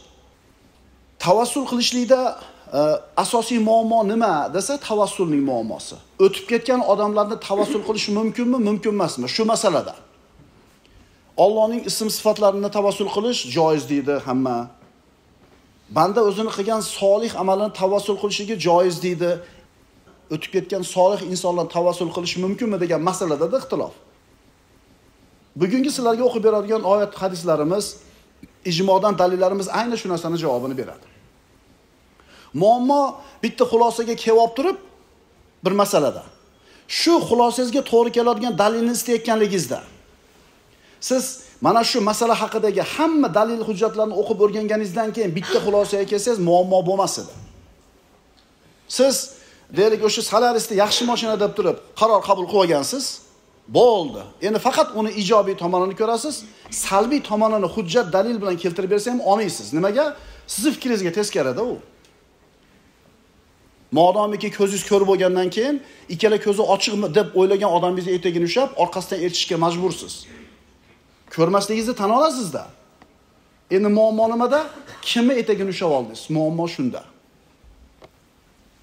musulmonlarning eng xayrli ajdodlari bo'lgan sahobalar tobiinlar taba tobiinlar ato qiladigan faqat alloh taoloni o'zi hojatlarni ravo qilishlik faqat ollohni qo'lidan keladi degan e'tiqod bilan solih amalni solih insonlarni ollohni ismlarini o'rtaga qo'yib tavassul qilishlikni joiz deyishgan Bu ummat ijmo qilgan narsa. Bu masalada tavassulning joizligi haqidagi masalada 8-asrgacha takrorlayapmiz bu ma'lumotlarni. Toki bir mavzuga kirishib olaylik. 8-asrgacha ahli sunna va jamoa e'tiqodda bo'lgan odamlar tavassulni joiz deb kelgan. 8-asrga kelib Hanbali mazhabidan ajrab chiqqan ayrim odamlar mana shu tavassulni joiz emas degan fikrlar bilan chiqdi shu bilan ummatni o'rtasiga mushkullarni tiqdi. Tavassulni joiz emas deb e'tiqod qilgan odamlar juda ko'p musulmonlarni qonini oqizishdi. Tarixda o'qinglar. Shirkka qarshi kurashish degan shior ostida musulmonlarni qoni oqizildi. Jon ukalar shoshilmanglar. Yuz ellik yilni uyog'i ko'p tarix emas o'qinglar topib. Kitoblarda turibdi internetda maqolalar turibdi o'qinglar. Mana shu tavassul kerak emas tavassul shirk degan vyviskani ilib qo'yib turib musulmonni qoni oqizildi. Vaholanki aytyapmiz yetti asr sakkiz asr ummat tavassulni to'g'ri ekanligiga muttafiq bo'lib kelgan. O'zi aslida tavassul birodarlar bu aqidaviy masala emas edi. Ulamolarimiz mana shu qabrda oldida duo qilishlik joizligi haqidagi masala edi. Bu fiqhiy masala edi. Ammo boyagi biz aytgan ajrab chiqqan toifalar shaxslar aqida masalasiga olib kelib qo'yib turib musulmonlarni kofir deyishlikka o'zlari yo'l ochishib oldi.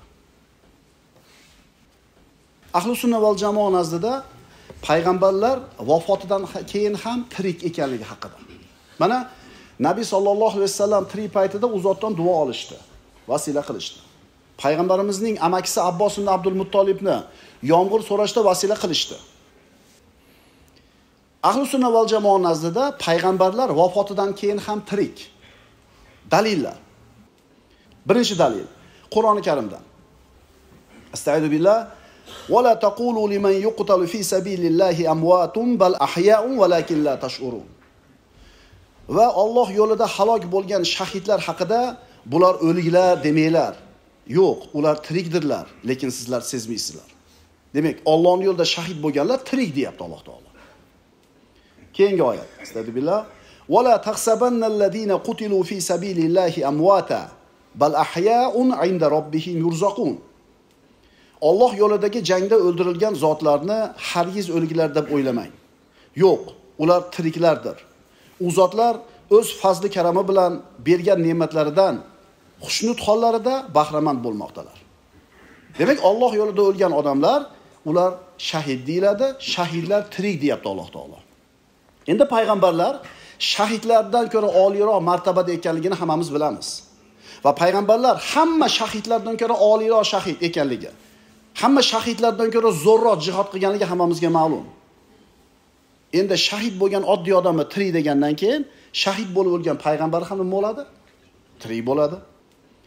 Undan tashqari payg'ambarimiz sollallohu alayhi vasallamga Alloh azza va jalla hamma sharafni jamlagan shaxsiyatida. Payg'ambarimiz sollallohu alayhi vasallamning vafoti ham shahidlik deyiladi. Chunki Haybarda yahudiylar Rasulullohga zahar yegizishgan. Ana shu yurak tomiri uzilganligini aytadilar. Ana shu kundan boshlab yuragidagi og'riq bo'lgan payg'ambarimiz sollallohu alayhi vasallam. Shuning uchun u zotni vafot etishligi ham shahidlik deyiladi. Binobarin Muhammad alayhissalom vafot etganlaridan keyin ham payg'ambarligi uchun ham tirik, shahid bo'lganligi uchun ham tirik. Bu ikkita oyatdan biz oladigan birinchi xulosamiz payg'ambarlar vafot etgandan keyin ham tirik bo'lar ekan. Shuning uchun ularni o'rtaga qo'yib tavassul qilish mumkin ekan. Birinchi xulosamiz shu. Mana endi sunnatdan dalillar. Sunnatdan dalillar. Payg'ambarlarni vafot etganidan keyin ham tirik ekanligi haqidagi aytilgan hadislar ko'pligidan mutavotir darajasiga yetgan. Birinchi hadis. Bu katta hadis, buni matnini o'qib o'tirmaymiz, xulosasini aytamiz. Mana payg'ambarimiz sollallohu alayhi vasallamning hayotida sodir bo'lgan Isro va meroj hodisasi. Rasululloh mana shu osmondan osmonga ko'tarilayotganlarida har osmonda bittadan payg'ambarni ko'rganligini va ular kelib payg'ambarimizga salom berib, u zotni muborakbod ekanligi haqida aytilingan. Odam alayhissalom, Yahyo Iso alayhissalom, Yusuf alayhissalom, Idris alayhissalom, muso alayhissalom, Harun Ibrohim alayhissalomlar. Demak, ularning tirik ekanligini mana shu hadisda aytilingan. Yana Isro voqeasi haqida kelgan hadisda payg'ambarimiz Musa alayhissalomni va boshqa bir qancha payg'ambarlarni qabrida tik turib namoz o'qiyotganlari haqida ham aytilgan. Demak, birinchi dalilimiz shu. Hadisdan, sunnatdan ikkinchi dalilimiz. An Anas ibn Malik radhiyallohu anhu anin nabiy sallallohu alayhi vasallam qol: Ataytu fi riwayatin marartu ala Musa laylata usriya bi inda al-kathib ahmari wa huwa qa'imun yusolli fi qabrihi. Anas ibn Malikdan payg'ambarimiz aytadilar: Isro kechasida men Musa alayhisalomning qabri joylashgan qizil tepalikdan o'tdim. U Musa alayhisalom. Unda tik turib namoz o'qir edi. Imom Muslim rivoyat. Bu hadisni 40 dan oshiq sahobalar rivoyat qilishgan. Shuning uchun bu hadisni mutavotir darajasiga yetgan deb aytyapmiz. Nechta dalil aytdik? Ikkita. Uchinchi hadis. An Aus ibn avsin radhiyallohu anhu qala qala Rasululloh sollallohu alayhi vasallam inna min afzali ayyamikum yawmal juma Sizlarning eng afzal kuninglar juma kuni. Fihi xuliqo Adam. U kunda odam yaraldi. Va fihi nafqatu. Ana shu kunda nafxa bor, hammani o'ldiradigan puflash bor surga. Va fihi soqatu. Fa akthiru alayya min salatin fihi. Ana shu kunda menga salovatni ko'paytiringlar. Fa inna salatakum ma'rudatun alayya.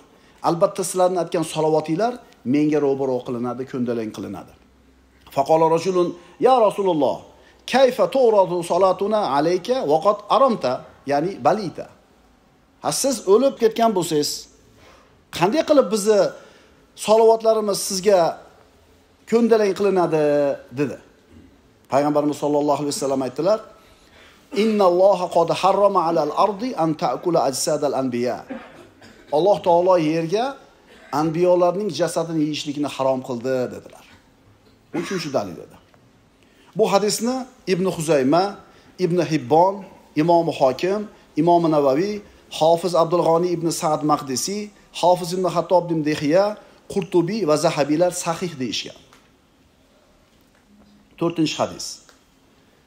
Ana Abi Dardo radhiyallohu anhu qala qala Rasululloh sollallohu alayhi vasallam akthiru salata alayya yawmal jum'ati fa innahu mashhudun tashhaduhu al-malaika va inna ahadan lan yusalliya alayya illa uridat alayya salatuhu hatta yufraga minha.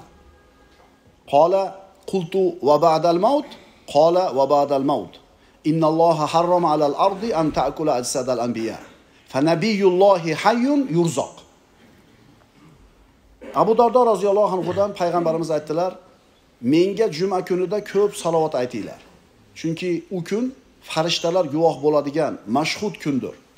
Biror kimsa menga salovat aytar ekan to to'xtagunicha u salovat menga albatta ko'ndalang qilinadi ya'ni yetib keladi dedilar. Men aytdim yo rasululloh o'limdan keyin hammi? Shunda rasululloh o'limdan keyin ham.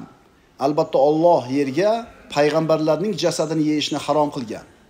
Bas Allohning payg'ambari qabrida ham rizqlanib turuvchi tirikdir dedi ibn moji rivoyat. Demak to'rtta hadis o'qidik. Birinchi hadis isro va meroj voqeasi buxoriy muslimdan bu hadis. Ikkinchi hadis muso alayhissalom qabrida tik turib namoz o'qiyotganligi haqidagi hadis imom muslimdan. Anbiyolarning jasadini yemaydigan yemaydi degan hadis ibn huzumadan hokimdan navaviydan zahabiydan va boshqa muhaddislardan sahih deyishgan buni. To'rtinchisi ollohning payg'ambari tirik rizqlanib turadi degan hadis. Bu ibn mojadan demak darsimiz mana shu qismiga kelganda xulosalaymiz anbiyolar vafotidan keyin ham tirik ekanligiga mana qur'ondan va hadisdan dalil keltirdik. Endi ijmodan dalillar. Ijmodan birinchi dalil. Hofiz sahoviy o'zining al qavlul badi kitobida nabiy sollallohu alayhi vasallamga salovat va salomlar hamda ummatning amallari ko'ndalang qilinish haqidagi hadislarni keltirgandan keyin shunday deydi. Bu hadislardan ma'lum bo'lyaptiki nabiy sollallohu alayhi vasallam davomiy holda tirikdirlar chunki borliqda har vaqt va har soniyada payg'ambar alayhissalomga salovat aytib turiladi. Biz payg'ambarimiz sollallohu alayhi vasallam qabrida rizqlanib turuvchi tirikdir deb iymon keltiramiz. U kishining sharafli jasadini yer yemaydi ijmo shunga bog'langan. Ba'zi ulamolar bunga shahidlarni ham qo'shishgan chunki ba'zi avliyo ulamolarning va shahidlarning qabrlari ochib qaralganda ularni jasadlari o'zgarmagan haqidagi sahih xabarlar anchagina payg'ambarlar esa shak shubhasiz shahidlarning afzalidir. Hofiz sahoviyning avqavlul badi kitobidan. Mana shu ijmoni imom ibn hazm ham o'zini al muhalla kitobida keltirib o'tgan. Shuning uchun ulamolar mana shu oyatlarni umumiy tushunishgan. Imomi qurtubiyning tafsirida mana shu oyat haqida shunday deyiladi. Abu solih alidan rivoyat qilib aytadi biz rasululloh sollallohu alayhi vasallamni dafn qilganimizdan uch kun keyin bir arobiy bizning oldimizga kelib rasululloh sollallohu alayhi vasallamning qabriga o'zini otdi va boshiga u qabrning tuprog'idan sochdi. So'ngra yo rasululloh biz sizni gaplaringizni eshitganmiz. Siz ollohdan olgansiz. Biz esa sizdan olganmiz. Sizga olloh nozil qilgan oyatlar ichida agar ular jonlariga jabr qilib oldingizga kelishsa oyat ham bor. Men jonimga jabr qilib oldingizga ollohdan istig'for so'rab keldim deb aytdi. Shunda deydi seni gunohing kechirildi degan nido keldi. Mana shu asar isnodi bilan arrodul muhkamul matin kitobida keltirilgan. Bu voqea haqidagi boshqa asarni imom ibn kasir ham hofiz sahoviy ham qavlul badi kitobida keltirgan. Ibn kasirda keltirilyapti bu. Endi ibn kasirni bir joyini olib bir joyini olmasak qanaqa bo'ladi?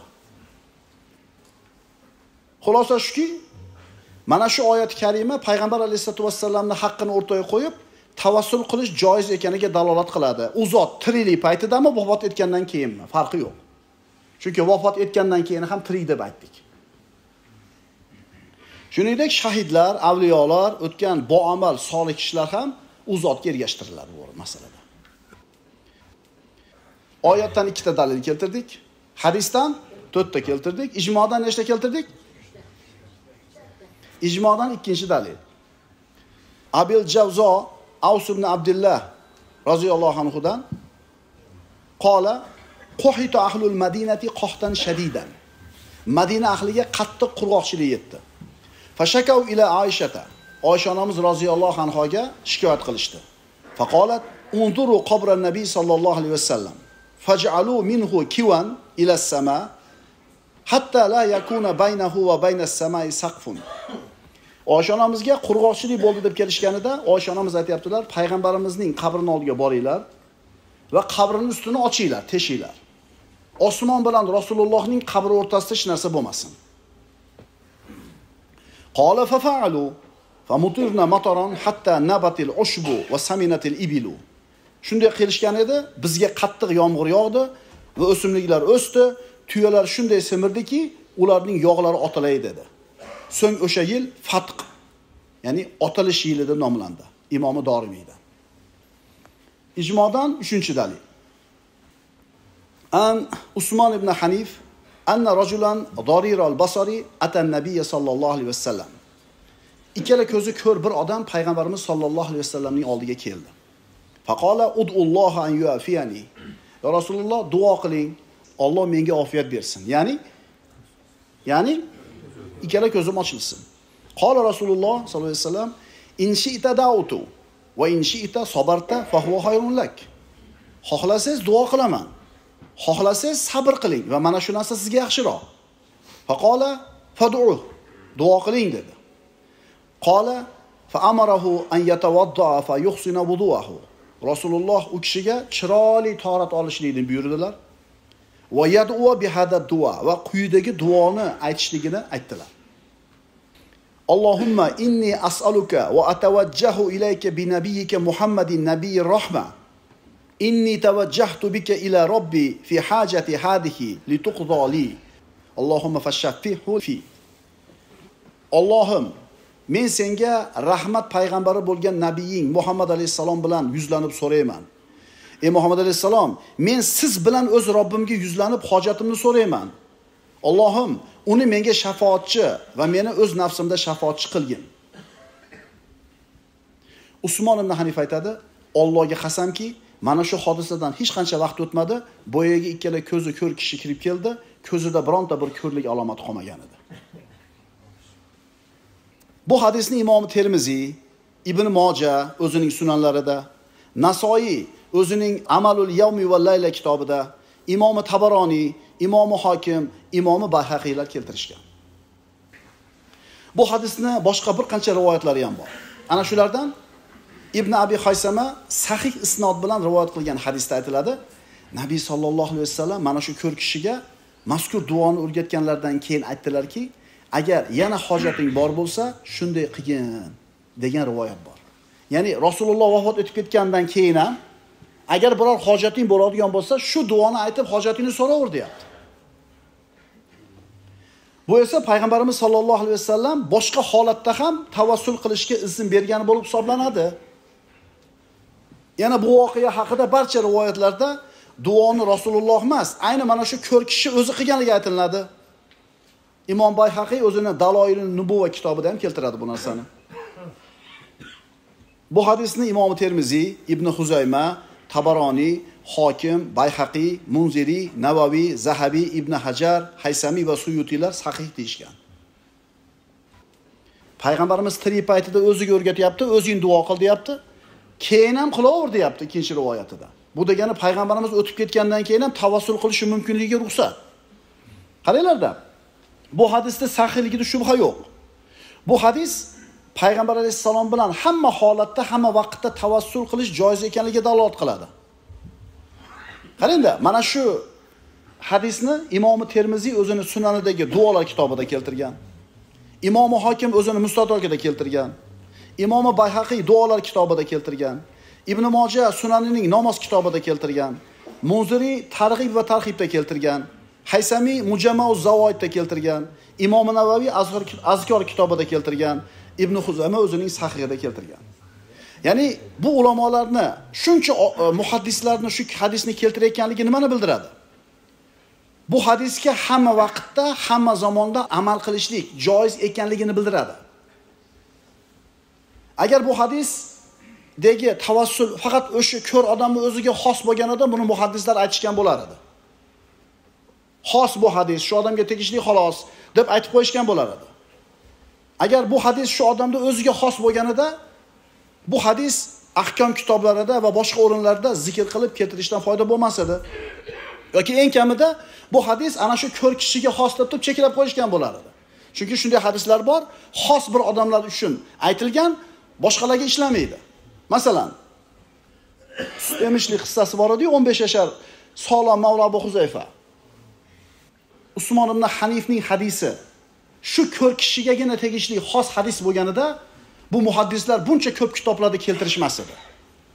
Agar bu hadis faqatgina shu ko'r kishiga tegishli keyingilarga ishlamaydigan hadis bo'lganida eng kamida shu narsani aytib qo'yishardi ular. Ijmodan to'rtinchi dalil. An ibn masudin qola rasululloh sollallohu alayhi vasallam hayati xoyrun lakum tuhaddisuna va yuhdathu lakum va vafati xoyrun lakum tu'radu alayya a'malukum fama kana min hasanin hamidtulloha va ma kana min sharrin istaghfartulloha lakum ibn masud roziyallohu anhudan rasululloh shunday dedilar. Tirikligim sizlar uchun yaxshilikdir. Menga ham gapirasizlar sizlarga ham gapiriladi. Vafotim ham sizlar uchun yaxshilikdir. Menga amallaringiz ko'ndalang qilinadi ko'rsatiladi. U amallardan yaxshilikni ko'rsam allohga hamd aytaman. Agar yomonlikni ko'rsam allohga sizlar uchun istig'for aytaman. Imomi bazzor rivoyat. Bu hadis haqida hofiz iroqiy o'zini torhud taslik kitobida isnodi yaxshi deydi. Yana hofiz haysamiy o'zining e, mujamma zavoid kitobida imomi qassalonining o'zining buxoriyga yozgan sharhida bu hadis isnodining kishilari sahih hadis kishilari deb aytishgan. Yana hofiz suyuti o'zining hasois kitobida bu hadisning isnodi sahih deb aytgan. Shuningdek mullali qoriy va shihobal hofajiy ham shunday deyishgan. Bu hadisni yana yigirmadan ortiq yo'llari bor Xolovchilar Abdulloh G'imorning arrodul Muhkamul Matin, Hofiz As-Saidning Al-Ilham bima tavarata min hadis alayhissalom kitoblariga murojaat qilishi mumkin. Bu hadis payg'ambar sollallohu alayhi vasallam ummati uchun vafotidan keyin ham istig'for aytib, shafoatchi bo'lishiga ochiq dalolat qilib turibdi. Shuning uchun payg'ambarimiz sollallohu alayhi vasallamning vafotidan keyin ham u kishini haqqi bilan tavassul qilishlik joiz bo'ladi. ijmodan 5 dalil. An abi said al hudriy roziyallohu anhu. Qola qola rasululloh sollallohu alayhi vasallam man xoroja min baytihi ila sola rasululloh aytyaptilar kim uydan namozga chiqsa. Faqola allohumma inni as'aluka bi haqqi sailina alayka va as'aluka bi haqqi mamshaya hada fa inni lam akhruj asharon wala bataron wala riya'an aw sum'atan kharajtu ittiqa sakhatik وابتغاء مرضاتك أسألك أن تبعدني من النار وأن تغفر لي ذنوبي إنه لا يغفر الذنوب إلا أنت إلا وكل الله به سبعين ألف ملك يستغفرون له وأقبل الله عليه بوجهه حتى يقضي صلاته abu said al hudriy roziyallohu anhudan rasululloh sollallohu alayhi vasallam marhamat qiladilar Kim uydan namozga chiqsa va allohim men sendan so'rovchilar haqqi bilan so'rayman va mana shu yurishim haqqi bilan so'rayman. Men takabburlik manmanlik bilan va yana riyo yoki sum'a bilan chiqqanim yo'q. Faqat sening qahringdan qo'rqib roziligingni umid qilib chiqdim. Meni do'zaxdan saqlashingni va gunohlarimni kechirishingni so'rayman. Chunki gunohlarni faqat sen kechirursan deb aytsa Alloh unga 70 ming farishtani vakil qiladi ular u uchun istig'for aytadi va u namozini tugatgunicha Alloh unga yuzi bilan iqbol qiladi. Ibn Moja rivoyat. Bu hadisni Ibn Huzayma sahih sanagan. Yana Hofiz Abul Hasan Maqdisi, Hofiz Iroqiy va Hofiz Ibn Hajar Asqaloniylar bu hadisni hasan deyishgan. Alloma Muhammad Zohid Kavsariy rahimahulloh mana shu hadisni sharhida shunday deydi. Bu hadisda musulmonlarning ommasini ham xos insonlarni ham yaqini o'rtaga qo'yib tavassul qilish joiz ekanligi aytilmoqda. Chunki unda barcha Allohdan so'rovchilarning haqqi o'rtaga qo'yilyapti. Musulmonlarning ommasi ham xoslardan bo'lgan payg'ambarlar, avliyolar, ulamolar va solih insonlar ham Allohdan kunuti nima qiladi? So'raydi. Demak, ularni hammasining haqqi aytilyapti. Endi bu hadisdan kelib chiqib, bu axir Allohdan o'zga bilan qasam ichib so'ra ichib so'rashku degan da'vo bilan tavassulni yana kimdir inkor qilmoqchi bo'lsa, bu odamlar shu gapi bilan payg'ambarga qarshi chiqishyapti. Axir u Rasululloh sollallohu alayhi vasallamning o'zlari bizga bu hadisda tavassulni to'g'ri ko'rinishini ta'lim beryaptilar u. Mana haqqi bilan deb so'ra deyapti. Payg'ambarimiz o'zi o'rgatyapti. Yana bu hadisda kishilar bilan tavassul qilish aytilyapti. Allohdan o'zga bilan qasam ichish aytilmayapti. Zohid Kavsarning gapi tugadi. Ijmodan 6-dalil.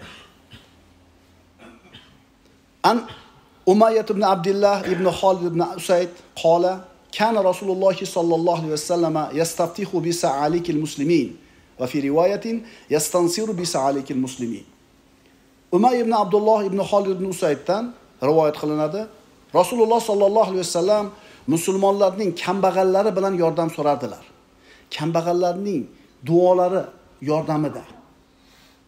Yana bir rivoyatda musulmonlarning kambag'allari bilan ko'mak so'rardilar deb keladi. Bu hadisni hofiz munzuriy roviylari sahih hadisning roviylari u mursal deb aytgan. Lekin bu hadisni mursal ekani zarar qilmaydi chunki bu hadis avvalgi mavzudagi hadislar bilan quvvatlanadi. Shuningdek mursal hadis hanafiy va maliki mazhablarida ham e, hujjat hisoblanadi. Ijmodan yettinchi dalil. Biz inson o'zining solih amallari bilan tavassul qilishi joiz ekanida ixtilof yo'q deb aytdik. Demak bu solih amallarning Allohning huzurida martabasi qadri bor ekan. Endi savol. Alloh taoloning huzurida solih amalning qadri balandroqmi muhammad alayhissalomni qadri balandroqmi? Albatta muhammad alayhissalomni martabasi qadri boshqa hamma narsadan afzal va baland. Shunga ko'ra payg'ambarimiz sollallohu alayhi vasallam bilan va u zotga ergashgan ulamolar avliyolar va solih insonlar haqqi hurmati bilan tavassul qilish joiz. Ijmodan sakkizinchi dalil. Savol. Insonni hayotda qilayotgan solih amallari maxluqmi maxluq emasmi? Maxluq.